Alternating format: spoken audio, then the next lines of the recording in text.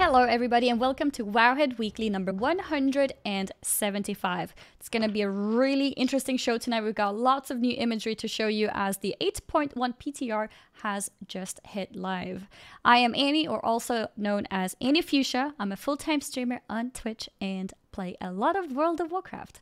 My co host is, as usual, the lovely Perculia.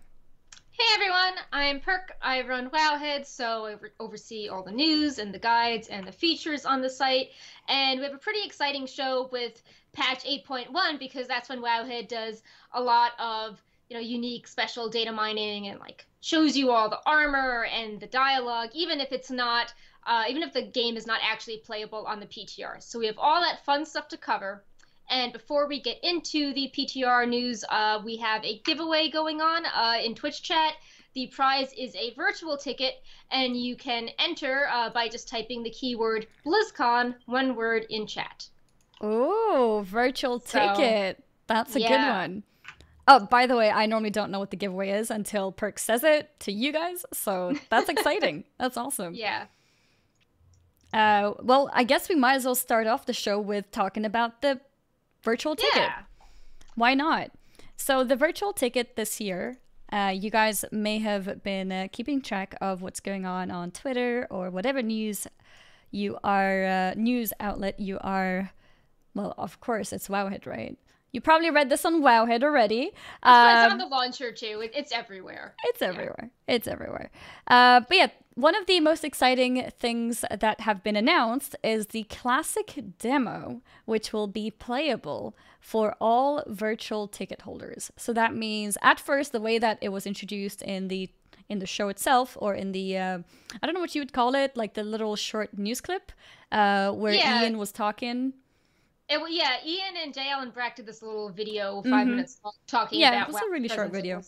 Yeah. Mm-hmm. And the way they presented it, they were like, yeah, you know, there's going to be a classic demo, playable. They're on site on the floor. Anyone who wants to can just line up and play it. And for people who are at home, who are not able to travel, you guys can try it too. And I think this is the first time they've ever done something like this. Yeah. Um, I have lots of questions about that because obviously Wowhead will be looking to data mine whatever is coming up so we can make, you know, a classic site based on it. And I'm curious if they'll just have those few zones uh, that you can grab data from, or if they'll be like, oh look, and now with this game, we'll we're data mining all sorts of bizarre, yeah, know, things. So it's like, what's in the box? So uh, I'm curious to see what or what all we will get to data mine. But yeah, if you're at home. After the opening ceremonies, you can download this demo and you can play it until roughly November 8th, and then it goes away, mm-hmm. I guess. So it's uh, up live I think just straight after the opening ceremony. And then it's uh, live until, like Perk said, November 8th, which gives a window of, what is it, five days, six days? Yeah, si- yeah, it's, uh, it goes, it's not a full six days because it ends at 10 a.m. Uh, Pacific. Okay. Okay. Um, mm-hmm. And this isn't all the zones. It's only one Horde and one Alliance zone. Mm-hmm. So, uh, you know, they didn't say what zones they were, but one could probably imagine, you know, humans and orcs. Although I guess it, it would be it would be cool if they did night elves with all like the sadness surrounding Teldrassil. Um, that could pull on nostalgia well. Hmm. But yeah, you get access to two zones um with this virtual ticket prize. Mm-hmm. As, yeah, I think uh, it'll probably be humans and orcs. I think that's the most classic look at things. Yeah, um, especially when you look at it uh, in conjunction with what you get on the live game, which mm-hmm. are these alliance and horde like human and orc themed banners as well as capes. Yep. like you know just cloaks that kind of look like pvp cloaks. I've actually got some uh, cloaks to show you guys here. We can see the alliance one being worn outside in the green and then we see the horde version right here as well. I i noticed the horde one has like these chains at the bottom of it. Yeah it's... I think that looks really cool, actually. Yeah. So my thoughts on this is that like the the cloaks look cool, but um, and I'm really happy that uh, this demo shows that WoW Classic is coming along. That they do have something to show us, but I think. I think it's a bit like too much of a change at once to raise the price of the virtual ticket yeah. and then have the reward be this demo, which if you play during classic, you're like, okay, but like I've I've played I, this I don't a care. lot, Yeah. you know, and then uh, also take changing it from that mount pet uh, expectation. I feel just was like a little too much at once. So I'm really happy that the classic demo shows that yes, classic is coming along, and I think that's interesting tech that maybe Blizzard could like give people like a teaser of you know a beta like everyone gets to do like one little thing i think it's interesting tech they're developing but i think for the virtual ticket instead of having like capes and banners just just give us a murloc maybe have it be like a low poly Yeah. murloc to have it be like a classic murloc but i just feel that people people react a lot better to pets than you know like banners for example. Oh yeah, for So- sure. I, I think the cloaks are a huge. Um, uh, I don't know if I should call it a disappointment. Uh, the cloaks themselves look pretty cool. I'm not a huge fan of the Alliance one. I think the Horde one looks cooler with the chains, but it's definitely Sure. not like, oh, I got this thing from the virtual ticket, you know? And for Right. that, I think, like you mentioned, it should have been a pet or a mount or both. And uh, so that is a little bit sad. And it also, like you said, raises a few questions like, did are we paying extra because we're getting the classic demo? Classic demo can almost be considered a different game. So it's kind of like telling the World of Warcraft crowd, like, yeah, actually, you're not getting anything for your game, but you're gonna get this. I don't know this. Uh, this Diablo reward. And it's like, wait, that's the wrong game. That's not my game. It's kind of similar to that because not every World of Warcraft player will be interested. But of course, it's amazing news for everyone who is interested in Classic to, you know, be able to try it out and see how it feels like, if it's as they were expecting, if it's very different. And um, I think it's cool also for Blizzard to actually get some uh, feedback. I think that might actually be one a- of the I main think it's reasons. a great way. I think it's a great way to be like, oh, so you know, like this is how people actually reacted to the old game.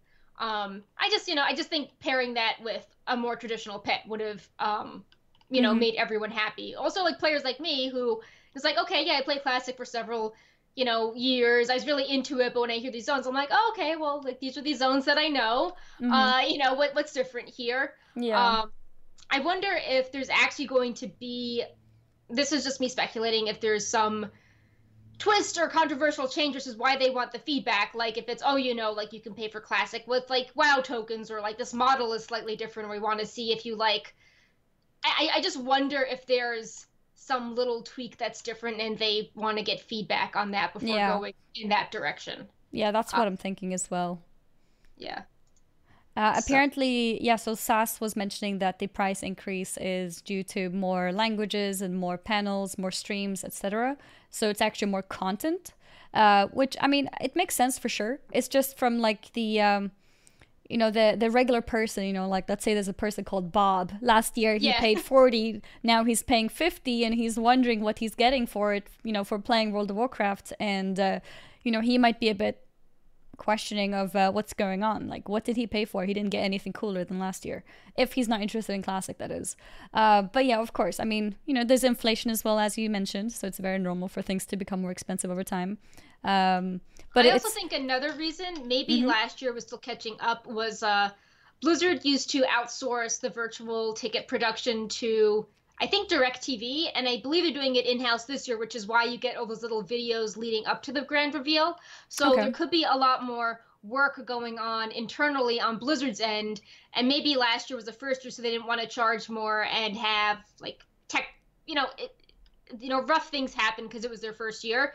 But if Mhm. they're trying to do, you know, like, oh, every week you get special exclusive videos, and then there's like interactivity things, and you get more panels, and all the Mhm. panels are around until like March of the next year instead of, you know, just two weeks after. Those could all be little factors that add up for a higher quality product. hmm Um, but no, I feel like the messaging could have been, um, you know, done better for that. And you yeah, know, because not just- everyone just give- realizes that the quality of things have gone up if they don't, you know, read into it. Right, and just give people the the Murloc pet. Like it's tried and true. People love the Murloc pet. You know, theme the Murloc pet after whatever, big game's coming up. Everyone loves the Murloc. Yeah. Uh, Uh, I think they could have definitely did it. Uh, I, I think maybe it was a little bit of a miss there, um, because or maybe they were an experiment, and it's like, okay, well, I, I'd be interested to see the data. Like, has this gotten a lot of people to buy the virtual ticket, or are people buying it anyway because they like Demon Hunter Sombra? I, I, I would just be curious to see if I don't know. Maybe people really like the cloaks according to Blizzard's data. Yeah. Yeah, I think for example, with the pets, how many versions of Murlocs do we need? Many. yes. We could have a little like I don't know, classic Pepe. He can be like one polygon instead of two. Wait, does Pepe exist as a pet itself? No, he's he's just the thing that sits on your head, right? and the, the the joke is that he's just like two circles. He's very simple model. Yeah. So my joke was like, oh, like we could have classic Pepe, which is just like, you know, like a blob with a few points as opposed mm-hmm. to his circle. Um, but yeah, I know. But Pepe was a BlizzCon reward one year. He was in the Overwatch. Uh, he was Bastion. He was BlizzCon Bastion with the Overwatch uh, Ganymede Pepe. Ah, okay. Yeah, I, I think adding a pet would have not taken too much work and would have made people a lot happier. Uh, for kind of like to keep a similar tradition with the rewards for the World of Warcraft players. I think that could have been very doable. Yeah. And keep so, the increase uh, in price. I mean. Yeah. So, you know, like make changes over time. I think it's really exciting that the classic WoW tech could mean that maybe when they want to test 9.0, it's like, oh, well, everyone gets to play like five quests or you know you get to play yeah. a void elf for like 30 minutes but oh if you want to like do the full test you have to sign up for you know like you know you have to be like a, a real beta tester. Like I, I can see this tech being used for exciting things um mm-hmm. but uh and maybe people don't realize there's a lot of work that goes into it but i feel that if they made an effort to put these live game freebies that it could have been more traditional mount or pet. Mm-hmm. Indeed. Um, I also do want to mention because there's I've seen some confusion that the the Blizzard post that was made was not a classic WoW post. The first half was talking about the classic WoW demo, but the second half was about the live loot. There are two videos in the post.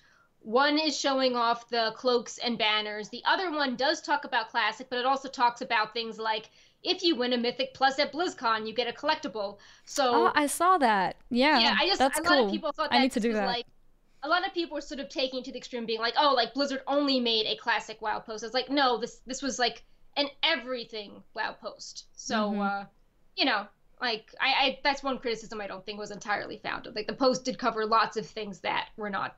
It was not just a classic WoW post, mm-hmm. although yes, it was focus. Yeah, I feel like everyone who's not interested in classic just became upset because they see too much yeah. information on classic. It's like, how do I make this go away? It's like, ah, right. oh, you know, you could just scroll down a little bit. Uh, but yeah, I think uh, classic WoW was. Um, I was very surprised, honestly. I was expecting um, well, I guess it's not too surprising since it will only be one zone, so it won't be too much.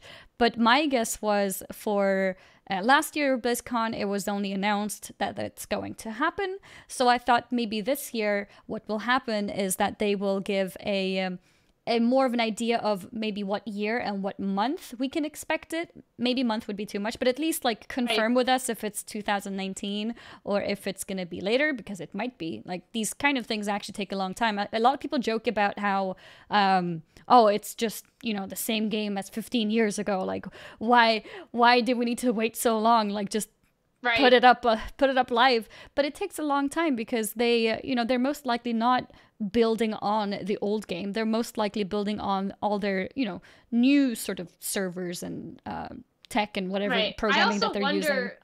Like they're gonna put this demo out, and like, what happens if there's a big bug in the demo? Then what? Then it's gonna be like, I guess it's like stress testing. At a yeah, you know, we'll get we'll get lots of feedback. If oh everyone yeah.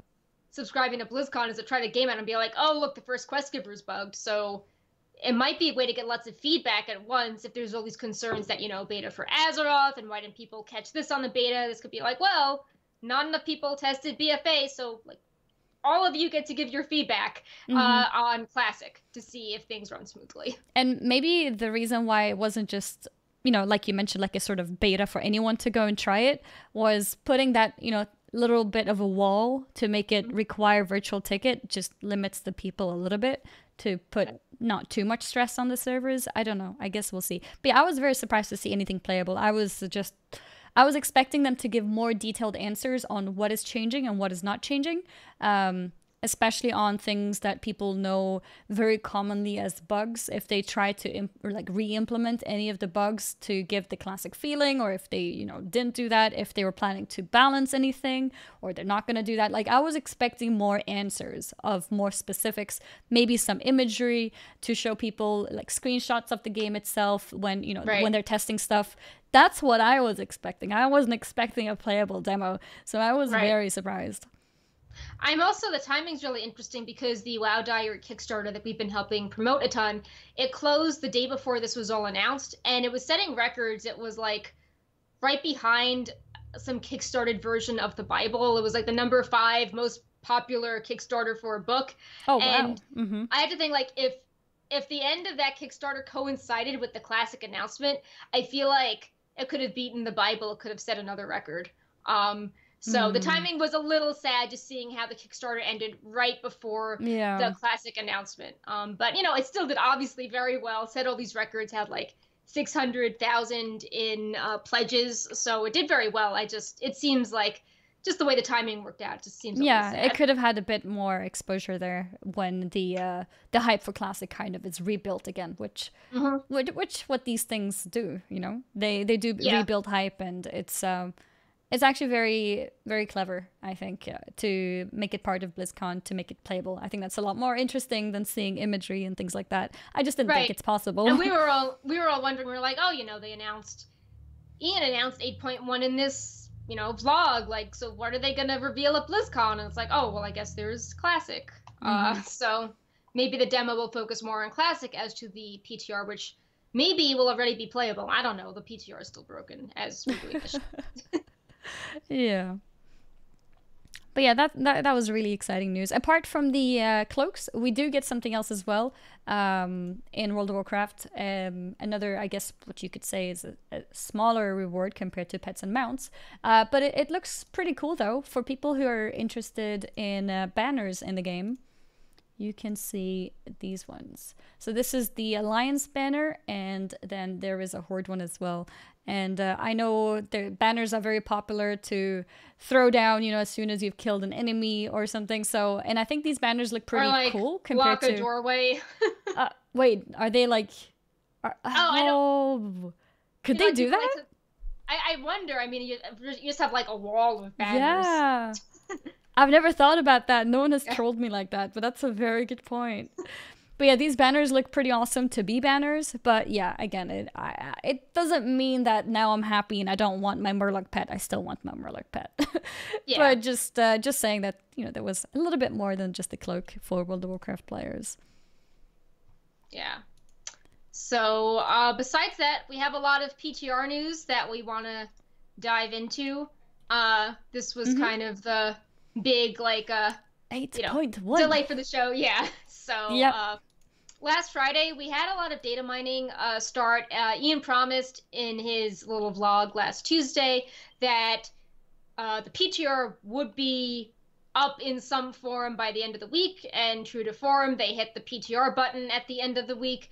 And it's really messy and buggy. You can't actually play it, but there was a lot of data that we could glean from it. So uh, this is all from data mining. We haven't actually been able to log on and see what's new. I wonder if Ian will be doing a big reveal for that. But yeah, um, it, this had an unusually high amount of uh, data, cool stuff in it. Mm-hmm. I remember being in bed when all of these things were being announced on Wowhead. I saw when I was scrolling through Twitter, and I was like, "Oh my god!" Yeah, so much stuff. Yep, yeah. there was. Uh, I guess the first thing that we can uh, show off to you guys are the uh, the new heritage armors, or one of them.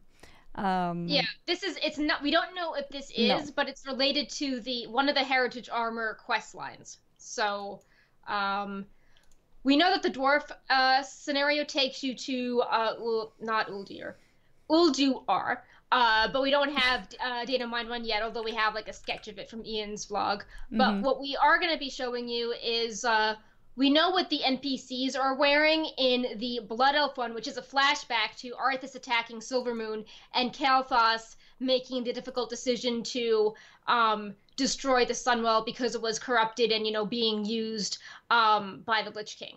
So we've got these really awesome weapons and I think that the what the NPCs are wearing are too simple for heritage, but people people are really excited about these weapons.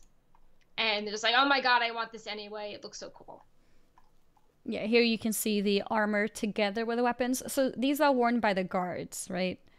Right. So we're not sure if blood elves will get them, but it's uh, probably possibly something similar.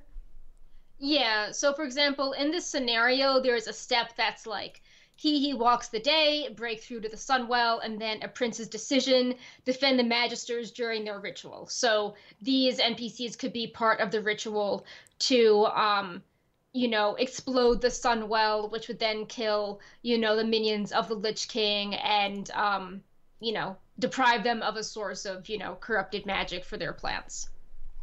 Mm-hmm. Which, you know, obviously is a very hard choice with the Sunwell being such an important part of the, you know, Elven culture. Yeah. So, uh, I mean, you actually get to see Kael'thas before he was all corrupted in Burning Crusade. Like, we have a model of him with his orbs, but the orbs are fire, not fel at this point. Uh, so it's you know very exciting stuff. Mm-hmm. And I think it will help explain people that, you know, if you're like if you're a WoW player and you're fairly new, you might not understand that like Blood Elves are a group of the High Elves, and most of them died in this you know battle with Arthas and Sylvanas' history, all this stuff. So uh, I think it's I think this is like an elegant way to let people experience the lore. There are, you know, chronicles, there are the in-game books talking about it, but not everyone likes to read, so experiencing it I think is um pretty good. definitely, important. definitely, yeah. I think there's a large portion of World of Warcraft players who never do anything outside of the game itself that is related to the game. So, um, yeah, the the more of the content which is in the game, the more people will be aware of the lore and everything. Yeah, so this next topic is pretty interesting. Yeah. We have yeah, Night Warrior and Night Elf customization options, which are based on Tyrande's new model.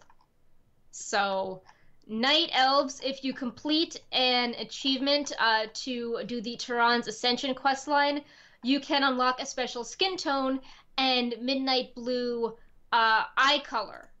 And they look really angry and yeah. like they mean business. Yeah. And Tyrande's model as well has all these midnight blue gems on it, and her eyes are darker, and she's she no longer has heels. She her hair hair is back in um, braids. You know, no fancy hairstyle and tiaras, mm-hmm. and. Uh, the Night Warrior is an aspect of Elune, so you know no no one's going evil here. This is this is another aspect of Elune, uh, and in this uh, scenario, uh, does this special uh, ritual to ascend into the Night Warrior, and then apparently after that she has some sort of face off with Nathanos Blightcaller and the Forsaken. Uh, but yeah, a lot of people really like this, and because the Night Warrior is about, you know, honoring the dead and the fallen, this could almost be seen as I'm most picturing a movement similar to the, you know, no shoulder, no honor type thing, where it's like, oh, you know, have the dark eyes in remembrance of the fallen at Teldrassil type deal. Mm, mm-hmm. Um, as like maybe a thing players will embrace to, you mm-hmm. know, pay respect that way. Yeah, because I was actually gonna ask you, like, what what is what does it mean? You know, what what does it mean becoming or ascending, becoming a night warrior? So it's uh, it's not necessarily something dark. I mean, it's it's more like the vengeful part of Elune, but it, it, yeah, it's an aspect of Elune, and it's actually referenced in an archaeology item um, talking about the different aspects of Elune, like the White Lady, mm-hmm. um, as well as um, you know the Night Warrior. Um, okay. So it's it's not like oh Tyrande has like become corrupt in the void. It's um, yeah maybe something's up with Elune, but yeah this is this is another part of Elune. So if anything, she is becoming closer to Elune or taking on one of the aspects of Elune. Okay, yeah, that that's really cool. I can't wait to see more of that with Tyrande. Yeah, uh, I don't think we had this in the slideshow, but Malfurion also has an updated bear form.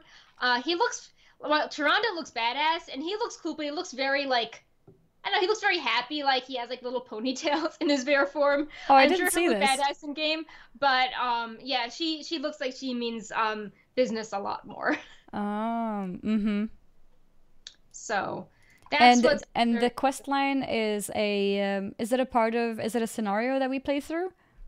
Yeah, so there's probably going to be like little quests, and then the main quest is the scenario, similar to okay. you know the artifact weapons. Mm-hmm. Um, and we did mind the scenario. There are 12 steps to it, and it's all stuff like go to the ruins of Auberdine, like find the Eye of Elune, you know, mm-hmm. investigate screaming, rescue prisoners, like have this ritual, hunt down Nathanos Blightcaller. Inter- oh, that this was sad. So apparently he's trying to raise the fallen as Forsaken, and Tyrande with her powers tries to intervene. So it's very much like oh. this sounds awfully Lich King if uh, they're trying to resurrect the dead night elves and plays into that really ominous line from A Good War where Sylvanas is talking about her ulterior motive that nobody knows about yet. And it's like, oh, are you just trying to like kill everyone and then make yeah. them I wonder.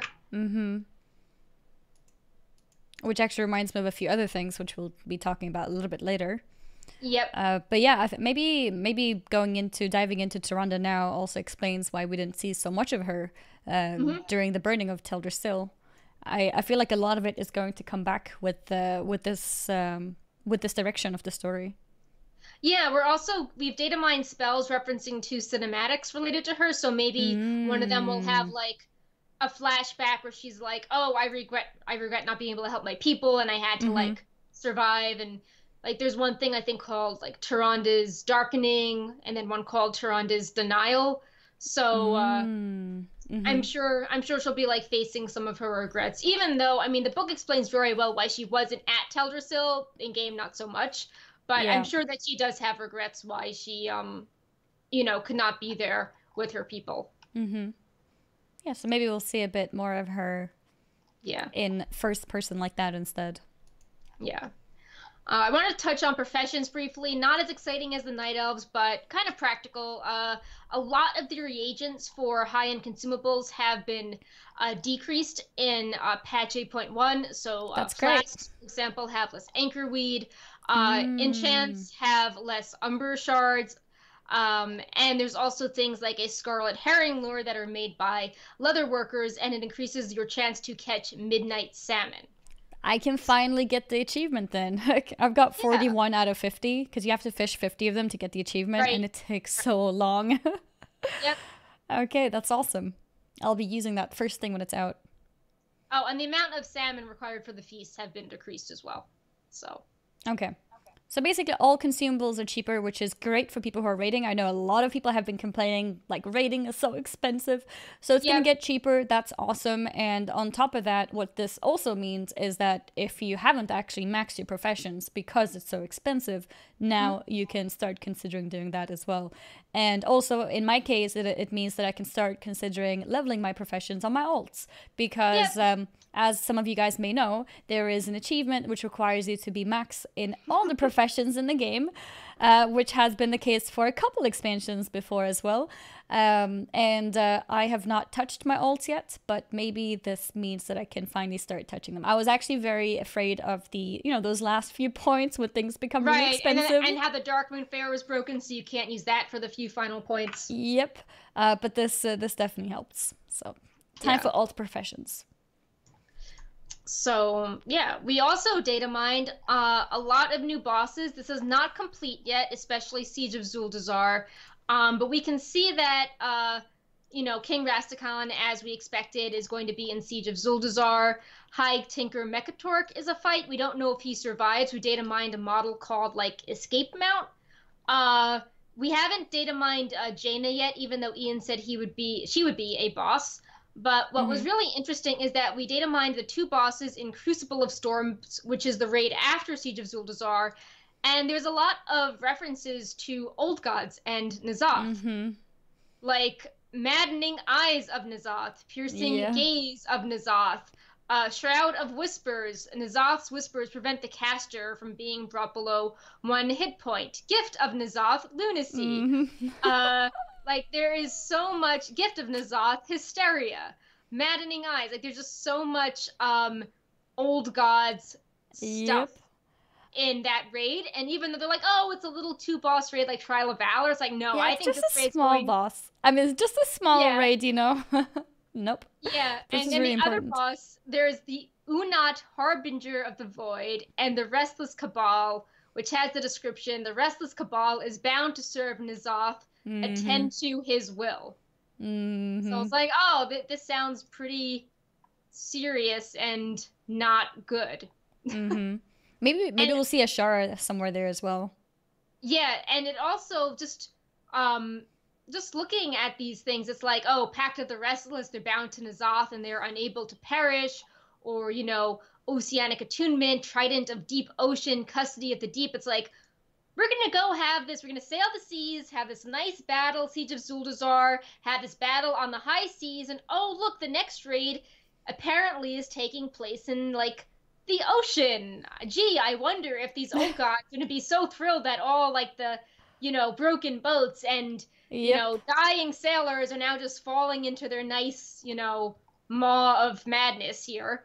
So I'm I'm sure those two things aren't related. no, definitely not. Mm-mm, mm-mm. And the old guys being like, "Oh, how tasty!" You know, nom nom nom. All these people yeah. for us. I'm really so. curious what direction this expansion will go in terms of old gods. Like I'm I'm so curious if it's going to be just constant hinting, constant like fighting their um like the what, what was he? He was a servant of N'Zoth or what was he? The boss? Are you to uh or he sorry, was just the boss? Uh, Are you talking about the harbinger? How...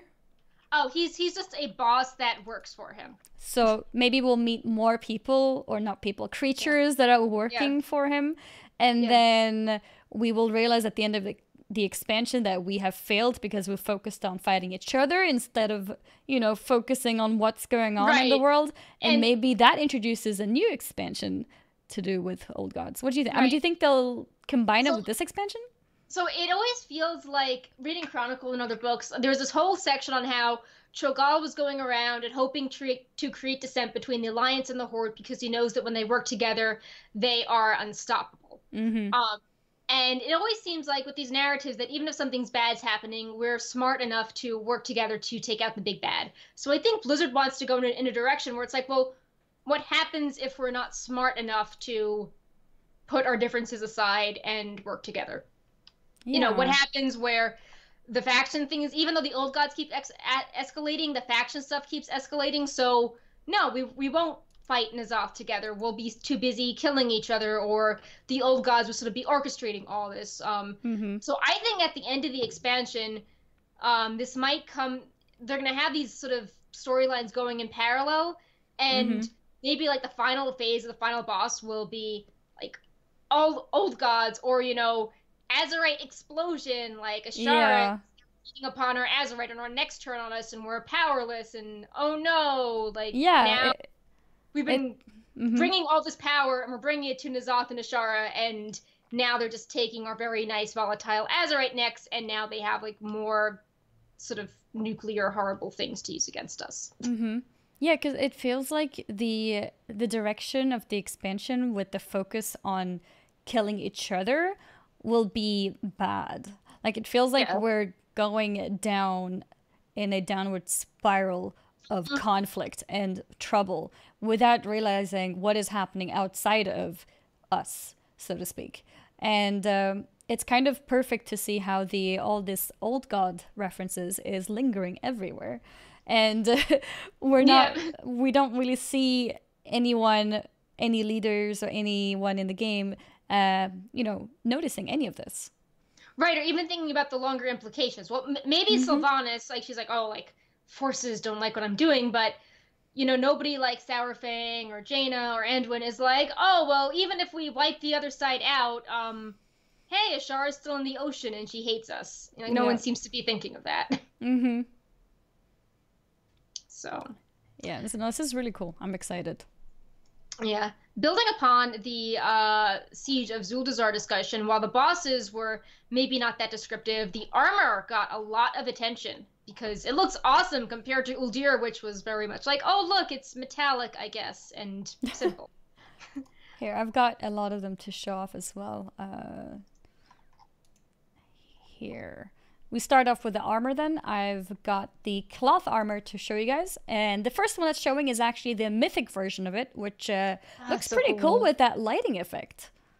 Yeah, there's so many bones, and it looks. People thought this was like a, a mail set at first. The mail set's kind of amp, but people are like, "Oh, like this looks so bulky and badass and like protective." And mm-hmm. I, I really, I mean, cloth and mythic and leather mythic look really cool. Um, so many bones. Uh, it looks like this, really creepy. When they talked about having the raids reflect um, the aesthetics. Um, Uldir felt disappointing, even though maybe the weapons looked cool with the armor. But yeah, the weapons looked cool. Yeah, this this armor really, it's really atmospheric, and it's not. Mm-hmm. It didn't take the easy way out. It's not like, oh look, it's gold bling, you know, Rastakhan's, Zandalar, yay! It's like, you know, Rastakhan has to deal with Bwonsamdi, the Loa of Death, mm-hmm. and we've lost the Loa of Kings. You know, things are not good for the Zandalari right now. So I, I like how it's getting across this creepy death vibe uh, in there. And uh, if you're if you were ever sad as a clothy that you couldn't use an iconic warlock set, th- this looks very warlocky. I was just going to say, like when I saw these sets, they it felt like another warlock set. Uh, which as a warlock i guess is uh, not too shocking in terms of the vibe that it gives but imagine being a priest and walking right. around like this like yeah. that's so weird i'm also really excited for this because uh, usually we data mine four armor tints total and three are LFR or normal heroic just different tints and the fourth is mythic and it's more elaborate but looking at these it's like there are four tints of the most elaborate set, so I wonder if we'll be able to get different tints through other means. It's it's just interesting how there's four tints of the elaborate set versus just one tint. Oh, you do you think these might be from the different difficulties and there's no difference between them? Is that what you mean? So I think I think maybe some are from Mythic, like maybe the purple is from Mythic, but the blue version maybe you get from I don't know, like top Mythic Plus or the brown version you get from Tier Three Warfronts. I, I think it's just mm. interesting how mm. they are taking that point. top tier and they they didn't need to make different colors. I know a no. lot of people always like, oh, I really like this version of the set, but I wish it had, you know, another I wish color. I, right. So it's like, well, maybe it seems maybe they're trying to do something where I don't know, you could upgrade your basic tint to the mythic tint in any color. It's, it's just interesting how they have extra colors available when they've never really had that before. Yeah, no, that's a good point. I actually didn't think about it. Um, I for some reason my, my brain was thinking, oh, four colors is four difficulties, but no, right. it's uh, it's I, not. then I was like, oh no, wait, there, there's eight, not four. Yeah, so. because you have the two different versions, and yeah. then the first version is from the easier modes, and then that's the mythic one. Okay. Hmm. Yeah, four different ones from the same raid, or possibly, like you mentioned, different ways to obtain them. Yeah, like different, really difficult ways to get mm-hmm. them. It's not like, like oh, Plus. right. It's not like GG of World Quest. It's like you know, like maybe mm-hmm. in your cast you get this better piece. Mm-hmm. Uh, but yeah, I don't know if you show the rest of them, but yeah, the, the mail set as usual, not very inspiring, but uh, leather and cloth look really cool. Here, I'm gonna give you guys a quick peek of the leather version right here. This is the regular version, and this is the mythic version. It's not as glowy, I noticed. Uh, I don't there's know if that's clothes. like hmm? there's no yeah, room to glow. It's just like that's, I'm that's wearing true. like a dinosaur on me. I am a dinosaur. and then I'll quickly show you guys the mail version too, right there.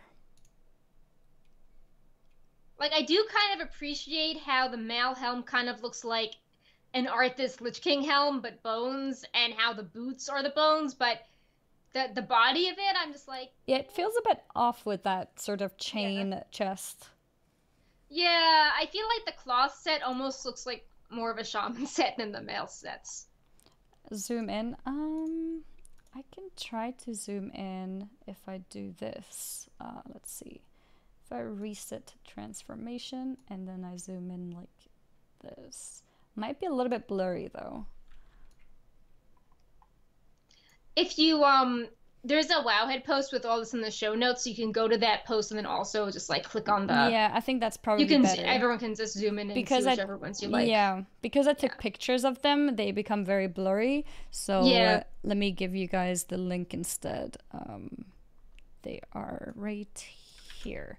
So if you click this link here, you guys can check it yourself on the page where you can you can zoom in a lot more than these slides do. Yeah.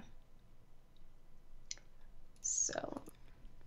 But yeah, um, going on to the next topic of new armors, we have another heritage armor to show you guys. And is this one? This one is um, more confirmed, right? It's not a guard or anything, but it's not a hundred percent complete, right? Right. So uh, if you're showing both the male and the female, uh, the male armor. Uh, so on both sets, the gloves are incomplete. They need some fancy cuff.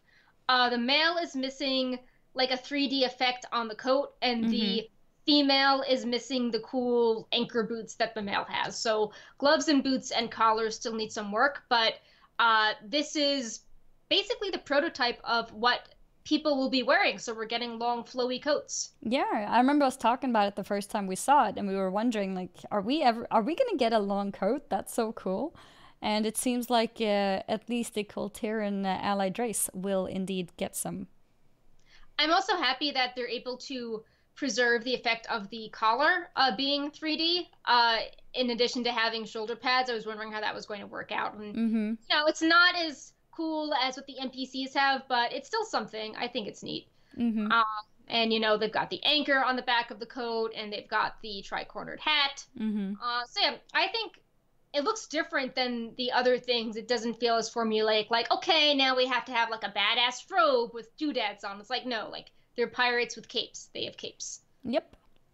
And here I'll show you guys the more elaborate model.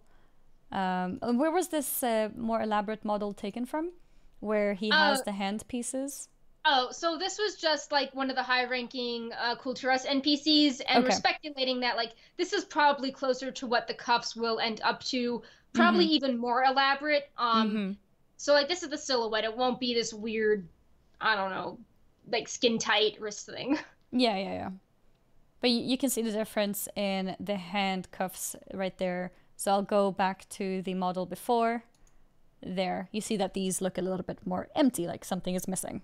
Yeah, you can also see what I like is how um, you can tell that there's like a ranking system and that you are higher up than the other NPC we showed. And like a lot of NPCs in Kul Tiras they kind of have the same type of armor, but if they're higher up, it's fancier. So, you know, people mm-hmm. by the docks will have a shirt and pants and like a little waistcoat and that same elaborate belt. And then as you move higher up, they have, you know, the fancier coats with the gold brocade. Mm-hmm. And we can see that the NPC and the heritage armor still has the interesting golden like anchor trim, like curved, like the little curved anchor sort of at the bottom by their mm-hmm. knees. But the back of the NPCs is all plain, but because we're all high up in ranking, we have that gigantic anchor on the back. So I like how it's not just some like super fantastical. It, it, it feels very realistic. Like, you know, we're one of them and we did something yeah. really cool. So we are like a higher ranking member of their naval, naval or, you know, ad- admiralty. We're mm-hmm. like, you know, we're, we're like right below Jaina, but it's not like some it's not some like fantastical thing where it's like we're wearing a boat on our heads and you know like dancing fish's shoulders. it feels it feels like grounded in their culture, which is yeah. cool.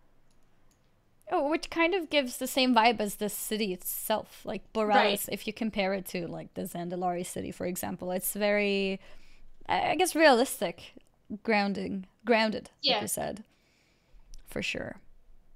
And I, I wonder how long after these are introduced into the game, how long it would take for us other races to also get a longer coat model. I, I right. feel like it could happen, um, but, I guess we'll see. I think it would be cool if the old god um, raid had interesting cloaks, like you know, sweeping things with little tentacles on them, and mm. I know, you know, weird. oh. Wow, yeah, they can robes. be really, they can be really creative with these coats once they've got it going. Yeah, so curious to see. Creepy with tentacles. yeah, this isn't in the model viewer yet, so we don't um we can't see what it looks like, but I, I hope more coats are coming. People mm-hmm. like coats. Mm-hmm. I think it'll be cool. Um so yeah, the other armor set we have, this is not complete yet, but we have our first tease of the uh night elf themed and Forsaken themed Warfront armor rewards. Mm-hmm. They're Forsaken and Night Elf themed, but they are for all Horde and all Alliance, right? Exactly. Yeah. Yeah. Okay. And they also, just happen to look really good on. I, I love the Forsaken one on the Forsaken. Like it fits Yeah. in really well with mhm. like just their, their stance and everything. Yeah, yeah. Um, I noticed somebody mentioned previously when we showed the armor from Siege of Zuldazar, uh, there was actually no plate version. I, I assume that's not been data mined yet. Exactly. And for this one, what you'll notice is that cloth is missing. Mm-hmm. Uh, but let's uh, let's get into them. Let's uh, let's show off the Forsaken versions first. Um, we can start. Let's see. Let's start with Horde leather. Yeah. So these look very roguelike. Um, like other Warfront's armor, there are like two tiers of it. So the one from doing the weekly quest has fancier armor than the ones that don't. So you notice the purple version we're showing has the spikes on the head. Mm-hmm. Um, but yeah, it kind of looks like very traditional rogue. Uh, looks really, it looks really good on the Forsaken. Uh, it's like oh, you know, your the, the pants sort of turn into the bone.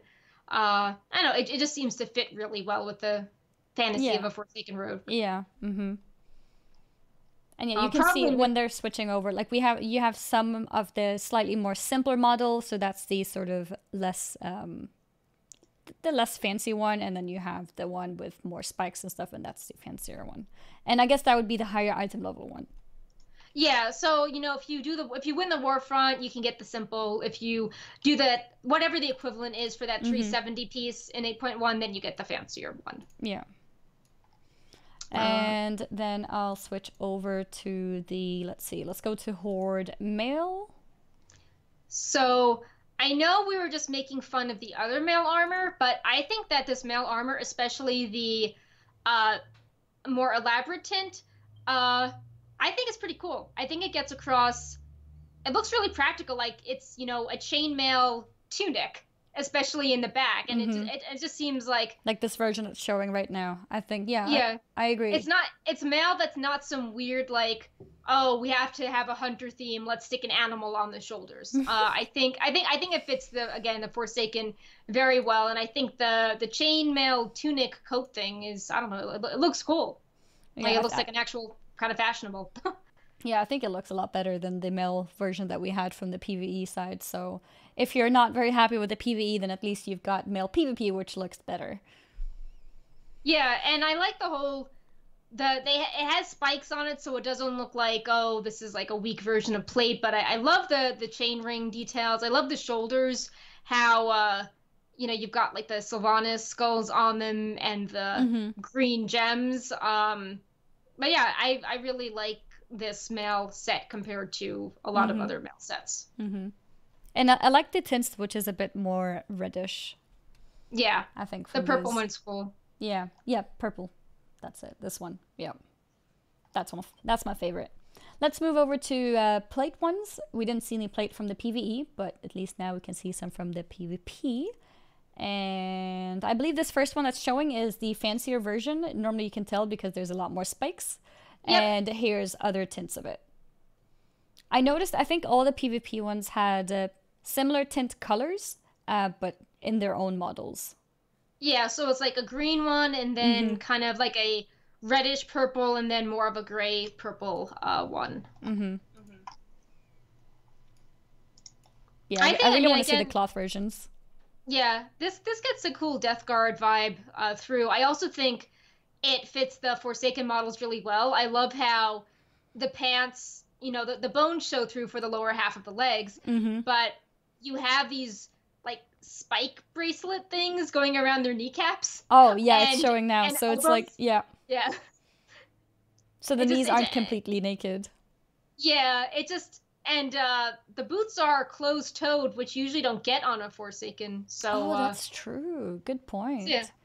I just I think it happens to look really cool and Mm-hmm. the armor like evokes the skeleton and then Mhm. you have the bones like the rib cage pops through at key moments. So I, I think that I think that these sets are pretty uh pretty neat for the Forsaken. Mm-hmm.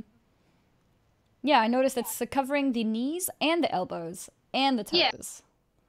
The fancy version, that is. So uh, cool. yeah, they're getting their their joints protected. Yeah. it's time to protect everything. Uh, we can move over to the alliance side of things. Uh, we could yeah. start off with let's start off with plate since we ended the yeah. horde with plate. Let's start alliance with plate, right, right. here. And uh, yeah, as we mentioned, um, we do have this sort of knight elfy uh, inspiration or the feeling, and that's why we have the night elf models here, also showing the armor off. Uh, this looks like the more simpler version. Yeah, no feathers. Yeah. And then this is the more fancy version with feathers. And you can see little details like the moons uh, on both arms or shoulders, rather. Yeah, and uh, I really wanted to see this on the Night Elf female, but it wasn't possible at the time with all the weird bugs with the patch.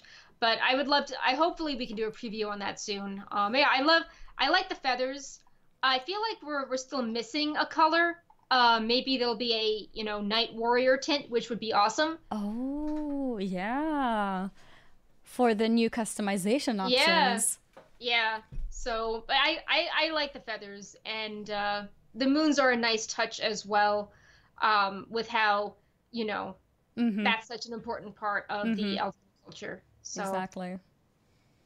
Yeah, I'm not a big fan of the uh, the simple one, but the the fancy one. Uh, that's kind of the case with all of them, to be honest. They yeah. they all look pretty bad uh, in their original version, and then the fancy one looks a lot better. Yeah, the fancy one is like, oh, like here's actual defining elements of the culture, like feathers. yeah. Uh, Let's move over to the mail version. So for Alliance, we've got this one, and uh, I would say this is the uh, simpler version because there's no nothing fancy. I don't remember if this one had feathers. It does. There we go. It does. Yep, yeah, there are feathers. Yeah, definitely feathers. I feel like this is still coming along, but I like how the shoulders are very dainty with those little like swoop swirl things mm-hmm. at the mm-hmm. top. I don't know how practical they are, but I think that the shoulders are pretty. And if you look at them from the side view, it looks the gloves and shoulders have stylized leaves on them, emphasizing that connection to nature. Mm, mm-hmm. So I think that that's a nice tribute. It's not just like, oh, let's have purple armor and call it night elves. It's mm-hmm. reflecting their heritage. Yeah, I don't think this this mail version looks too bad actually. And uh, I also noticed how the the gold with blue is a very screaming alliance color, which yep. uh, which also looks pretty cool. Uh, I think it might come up after this version. Let's see. Uh, together with the feathers, I think that's probably my favorite. Yeah, there it is. Like this looks very alliancey. Yeah. So you could go around with the uh, the alliance shield, alliance sword, and show off. and, and yeah, the leather that... one. Mm-hmm. Sorry, go ahead. I was gonna say that the leather one kind of gives me vibes a little bit of the leather original PvP sets.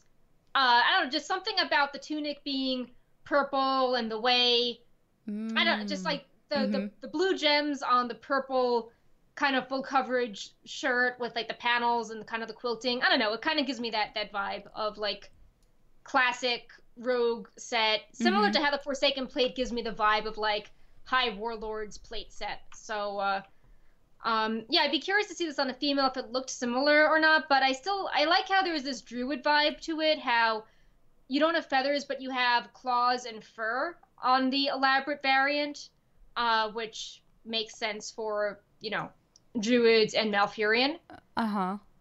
I noticed uh, this one doesn't have feathers sticking out like the mail yeah. and the plate version. Yeah, it has like these weird claws, which I assume is, you know, like, oh, I'm a I'm a bear druid, rawr. Yeah, like, yeah. So it gives a more druidy feeling, for sure. Yeah. I'd be really curious to see the cloth because if, you know, there's Tyrande and she's a priest, but now she's like an everything, mm-hmm. uh, you know, warrior, huntress, uh, I'd be curious if the cloth set reflects like Tyrande's kind of magic specialty, mm-hmm. if the mm-hmm. leather one reflects Malfurion and his druids. This was uh, leather, right? Yeah. Okay. Yeah. So we don't have cloth for that yet. Yeah. I'm really hoping for some uh, more tunics for for leather. Sorry, for cloth users as well. Like not necessarily from uh, Warfront specifically, but just in general. I I always prefer using tunics for transmog, but everything is always like a robe. So it would be cool yeah. to get some kind of tunic and then getting them in four different colors would be perfect too. Because there's a lot of transmogs out there which look great, like leg pieces, but you can't show them off because the the robe is covering it. Like a lot right. of old tier sets too, like Warlock tier one and tier three, and many of them have really cool looking legs, but they're not visible if you don't wear one of the sort of three standard looking yep. tunics that exist in the game because everything right. else just looks ridiculous. Yeah. So, yeah. Uh, moving on, we have a lot more models, but that covers that covers it for armor. Uh, there's a lots of weapons that we found that match these uh, Forsaken and Night Elf Warfront armor, in addition to Siege of Zuldazar. Uh, mm-hmm. Not all sure what you have in the slideshow, but people I think are most excited about the glaives for the Night Elves and Forsaken, especially Night Elves because that's such an iconic weapon for them. And there's been a ton of discussion surrounding the class requirements for glaives because glaives have been around forever and like many NPCs use them, but uh, only uh, demon hunters can use the glaives. And the characters using glaives, like you know, wardens or the sentinels, are not demon hunters. So mm-hmm. there's a lot mm-hmm. of speculation if maybe like this could be a weapon type available for like more classes yeah. or maybe or people are really upset about that. They want to use them, right. but only demon hunters can use them normally. Yeah, and that doesn't really fit with the lore that you get something that looks like a sentinel weapon, but you have to be a demon hunter to mm-hmm. resemble a sentinel. Mm-hmm. But yeah, I, have got everything in slides. I've got the focus here on the glaives, and we got a slideshow which shows off all of the weapons one after another. And uh, honestly, it's almost like I don't even know where to start. There's so much. Uh, there's pole arms, there's wands, there's swords, there's shields. Like you see a shield right now. Uh, from the color, you can probably guess that it's a lion's yep. shield. Um, well, oh, from the from the model too. Um, and uh, all of the weapons, I believe, also come in the three or four different tints. Yeah, three tints. Uh, so the Warfronts is three tints, and then the Raid is four tints. Yeah. I think um, we have here some examples of the ones from the raids as well. There was a section called Naga, yeah, it just was like Naga weapon, so I don't know if this is maybe related to the Crucible of Storms raid, which you know is more yeah. about like, corrupt Naga. But you know, it looks it looks kind of cool. Mm-hmm. Um, but you know, definitely the highlight is the um, Night Elf and Forsaken uh, weapons. Ooh, I showed you guys the Night Elf uh, glaive. Let me show you guys the Horde mm-hmm. version as well. There. So these, uh, so this glaive together with the alliance one are the ones in main discussion about whether other classes will be able to use them as well. Yeah. Yeah, the offhand you saw previously is an example of an offhand from Siege of Zuldazar. Yeah. But yeah, there's tons. I, I think this is a, is it a staff or a wand? I'm not sure. Uh, which, also from the uh, raid. Uh, yeah, no, there's both staves and staves and wands from the raid. You're probably mm-hmm. looking at the staff; it's more elaborate and kind of like weird bones on it. Yeah, yeah, yeah. So probably a staff. Looks yeah. like a kind of short staff, yeah. unless it's just very, very big. yeah. Also, a lot of these weapons from the raid, the the armor is more bon- Bwonsamdi, but some of the weapons are more like vibrant Zandalari, like the two-handed sword with the weird like neon carvings on it, or the shield. Mm-hmm. That's pretty neon. Uh, so you know, you do have some death bone weapons, but then you also have some brighter ones. You see some shields here as well. I, I just sped up the slideshow so that we can get through more of these pictures. Yeah. Actually looks really cool when it's switching color like that. yeah, it's like, Yeah. Let's see what's next after the shields. Oh, these are uh these also glaives? Yeah, I think these are glaives from, yeah. from the raid itself. Yeah with the different tints. It looks really creepy. It looks like a spider. Yeah, It's like a weird bone spider. Yeah, from from an angle. And these are fist weapons, coming in different yeah, colors. Also more Bwonsamdi there. Yep. Let's see what's next after this one. Uh, got some kind of... Wait, did that just reset? I think it just reset. And this was really oh. fast. But it was another type of weapon showing. Uh, yeah. Uh, if you guys are interested in looking at the models yourself, I can link you guys the uh, here a mace yeah it was probably a mace i think you're right uh, if you check out that link there you can see all the different models under which raid and what weapon type they are and what faction they are so you can see all of them yeah there's tons like i, I think i've barely shown like half of them now barely. yeah mm-hmm and they all come in different tints as you can see yeah mm-hmm yeah, now we're back to where we were talking about the mace. Actually, I think this might be the mace, unless they're both maces. I'm not sure. Yeah. But yeah, moving on from weapons, we have another very interesting one. I was uh, surprised to see it now because I kind of forgot about the fact that we don't know how the remaining of the druid forms look yeah, like. Yeah, and now we do. Yeah, and now we do. I don't know if you guys remember, but we covered a lot of druid forms, but there were some that were missing. And in particular, the biggest question marks were the boomkin models, because that's yep. very, you know, it's uh, it's one of those very specific sort of iconic figures. So people were very curious to see how they look like. And now we've got some answers. Let me show them off. Um, there. Let's start off with the Kul Tiras model of the boomkin. Yeah. There. So it's Yeah. it's like yeah, question mark. Like a dancing ogre kind of. I don't know. I see a comment in the chat just like, um, yeah, that's exactly how I felt as well. I'm like, yeah. um I mean, it reminds of the boomkin. It has a similar body form and everything, yeah, but what is going on? Yeah, I not. No one expected it to be quite like that. it looks hilarious.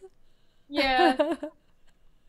I mean, it's it's so it's almost cute though. I feel like it's uh, it's so funny that it's almost cute, but it's yeah. Uh, it's yeah, it's kind of weird. But yeah. it's got a lot of details, and it does have this sort of Kultiran vibe with, uh, like, if you compare it to the, um, the bear, you see similarities you know, all those sort of tree branches and everything. Yeah. I was actually expecting them to be skinny for some reason. Oh. I don't know why. I, I was expecting. Oh, I guess I guess the wicker thing, like, oh, maybe it's this like yeah, maybe tall, yeah. creepy thing with weird extended limbs. Yeah. I guess. Well, I mean, this is more traditionally the silhouette of a boomkin. It is. It is. So it makes sense. Okay. But that's just something that was going on in my head. For some reason, that's what I was expecting to see. Uh, but yeah, it's really cool to finally see the form though. I've been waiting for a long time. For so long that I forgot that I was waiting for it. So it was a nice surprise to see it. um, we also got an update on the Zandalar aquatic form. Yeah. So it's is, a mm-hmm. it's like a little shark, but blingy shark. It has like a big. I like it. Yeah, I think it's cute. It looks nice, especially this blue version. Yeah. So uh, this was less controversial. Yeah. Oh wait, controver- interesting. So, Perk, what was the uh, reaction from the the Boomkin form? Oh well, everyone just was like, "Oh, like what's what's this? like we didn't expect this. Like I'm so confused by this. Um, oh, you know, I thought it would be something else. Um, because so, I saw yeah, Wowhead post tons of news, right? And I I yeah. had read through and skimmed through most of them, especially when in bed, like scrolling through Twitter. But yeah. I I actually missed this one, so I didn't know this until this like an hour ago this was the first thing we started with. Uh, Stefan gave me a list of 30 models, and mm-hmm. we were like, uh, there was like, what, what do I do first? I'm like, oh, go with Kultiran Boomkin because that's really anticipated and it looks really funny. Yeah. So, yeah, no, I did didn't know about it. So I just saw it and I was like, uh, what? what yeah. is this? Mm. but yeah, it looks funny. I'm yeah. not sure if people will specifically change to Kultiran for the Boomkin form, but uh, you know, if you want to look different, there's definitely people yeah. who would be interested in that. I think it does look pretty cool, but it also yeah. looks very weird. yeah.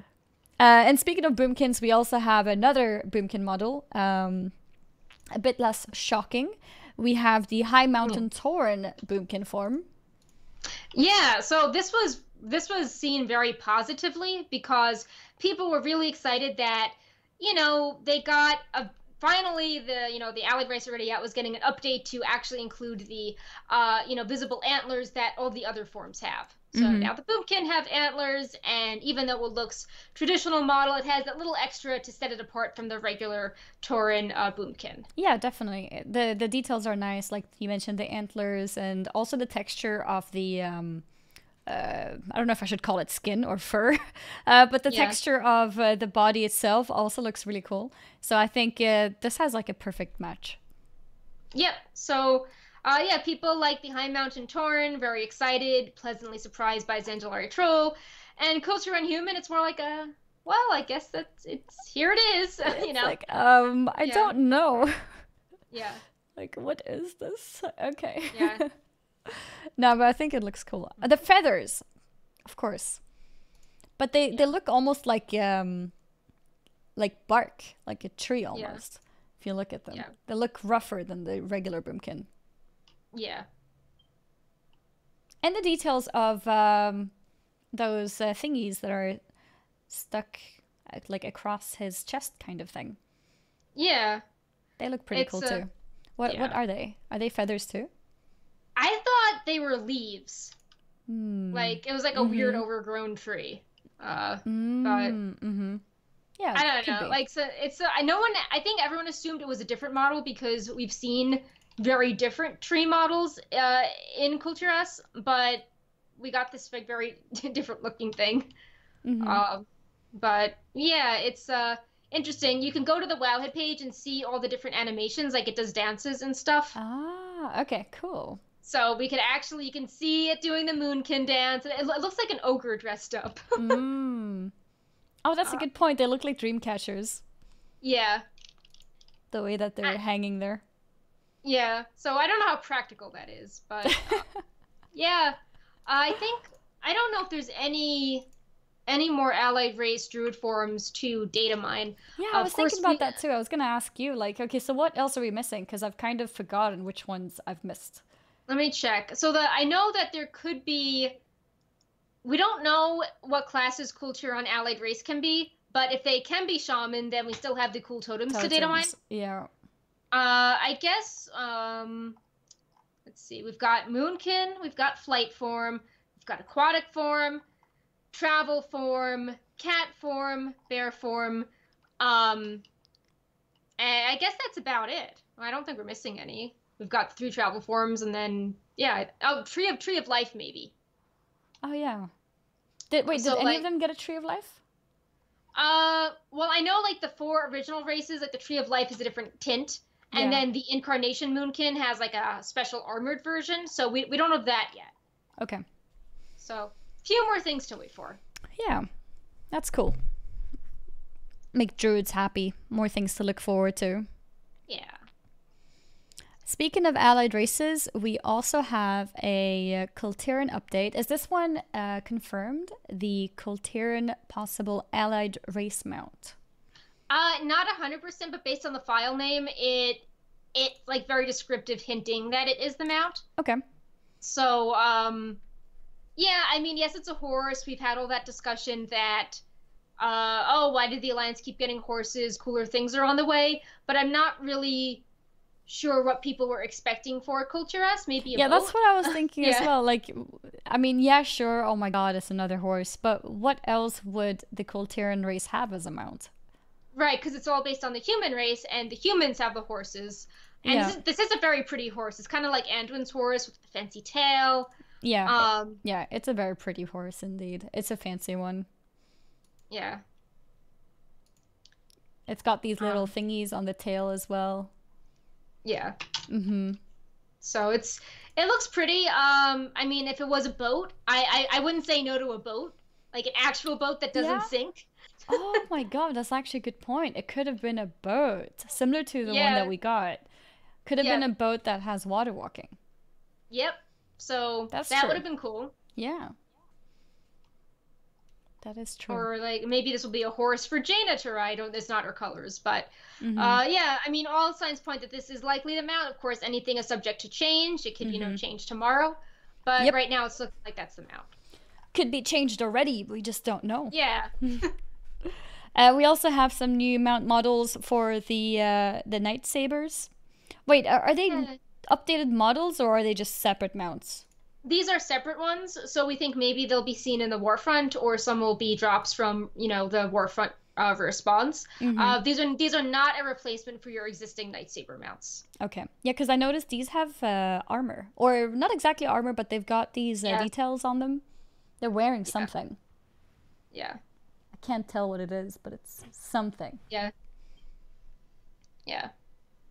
But yeah, they look really cool. I really like this sort of new high definition nightsaber models. Yeah. Like those fangs and the details around the face. I think they I think they look awesome. Yeah. We also uh, have a oh, this is an interesting one. So we have an updated model for the Hive Mind mount. Right. And it looks very cool. And in addition, the Hive Mind mount has a new icon, and the icon matches the model. And the whole big deal hmm with Secret Finding at launch was that, uh, you know, only uh, they wouldn't it wouldn't have an old model if it was a secret. And it's like, well, now this has a new model, so and an icon to match, and the icon is specifically called Hive Mind. So I think this is the final model. Mm. I think they were getting a lot of questions about the mount being a part of that secret thing, so then they had to announce that no, it's it's not the case. But I feel like we are getting closer to it being a real thing. I don't think it's gonna be very far into the future. I think it's gonna be closer than we think. Right. And I also feel that we're not going to get that super bizarre, like, oh, when 20 hive minds are together, you go faster type deal, but it will, finding the actual mount will be a secret. I think so too. Yeah. Yeah. I think so too. I, I mean, it might be a thing where people get together and you get faster. Maybe like the the standard speed of it is very slow. Yeah. and then it becomes all the way up to normal speed if more people are together. Yeah. I don't know if they kept that part in, but that, yeah, that's how it worked. It was meant to work that way when it was data mined in, like, you know, Oh, is that text gone? Yeah. So I, I don't Oh, see. Okay. So let me let me just check this quickly. So do, do, do. I'm comparing the PTR and live version of the page to Mhm. see if they have different stuff on it. Um, so if I go to the spell on the PTR and I go face is white. Uh, so yeah, so the hive mind, um, the the icon uh, uh, live WoW is called Spell Shadow Brainwash, and now the icon on PTR is called Inventory Hive Mind. So they've changed it just for that. Okay. mm-hmm. So, uh, and then if we let's see if there's any spells with this. Uh, I feel like they've also, hmm, let's see, spells forty one, joined hive mind. I'm seeing if the spell talking about joining has uh. So that they didn't update the spells talking about the hive mind to use the new icon. So Okay. to me, that shows maybe like they're they're not updating that part of it. It still has like all the old looks with it. Mm-hmm. Um, but it was meant to work. Um, there was a spell called joins with the target, a member of your hive mind, limited to the outdoors, following normal vehicle rules. Apply aura mod mounted speed percentage. Apply aura increase mounted speed percentage stacks. So the Mhm. idea is that you have this like mega hive mind going around, scooting around super fast if everyone had it. yeah. But I don't think that I don't think that's coming through for 8.1. I just think that there'll be a, a fun way to get the, you know, just the basic mount. yeah.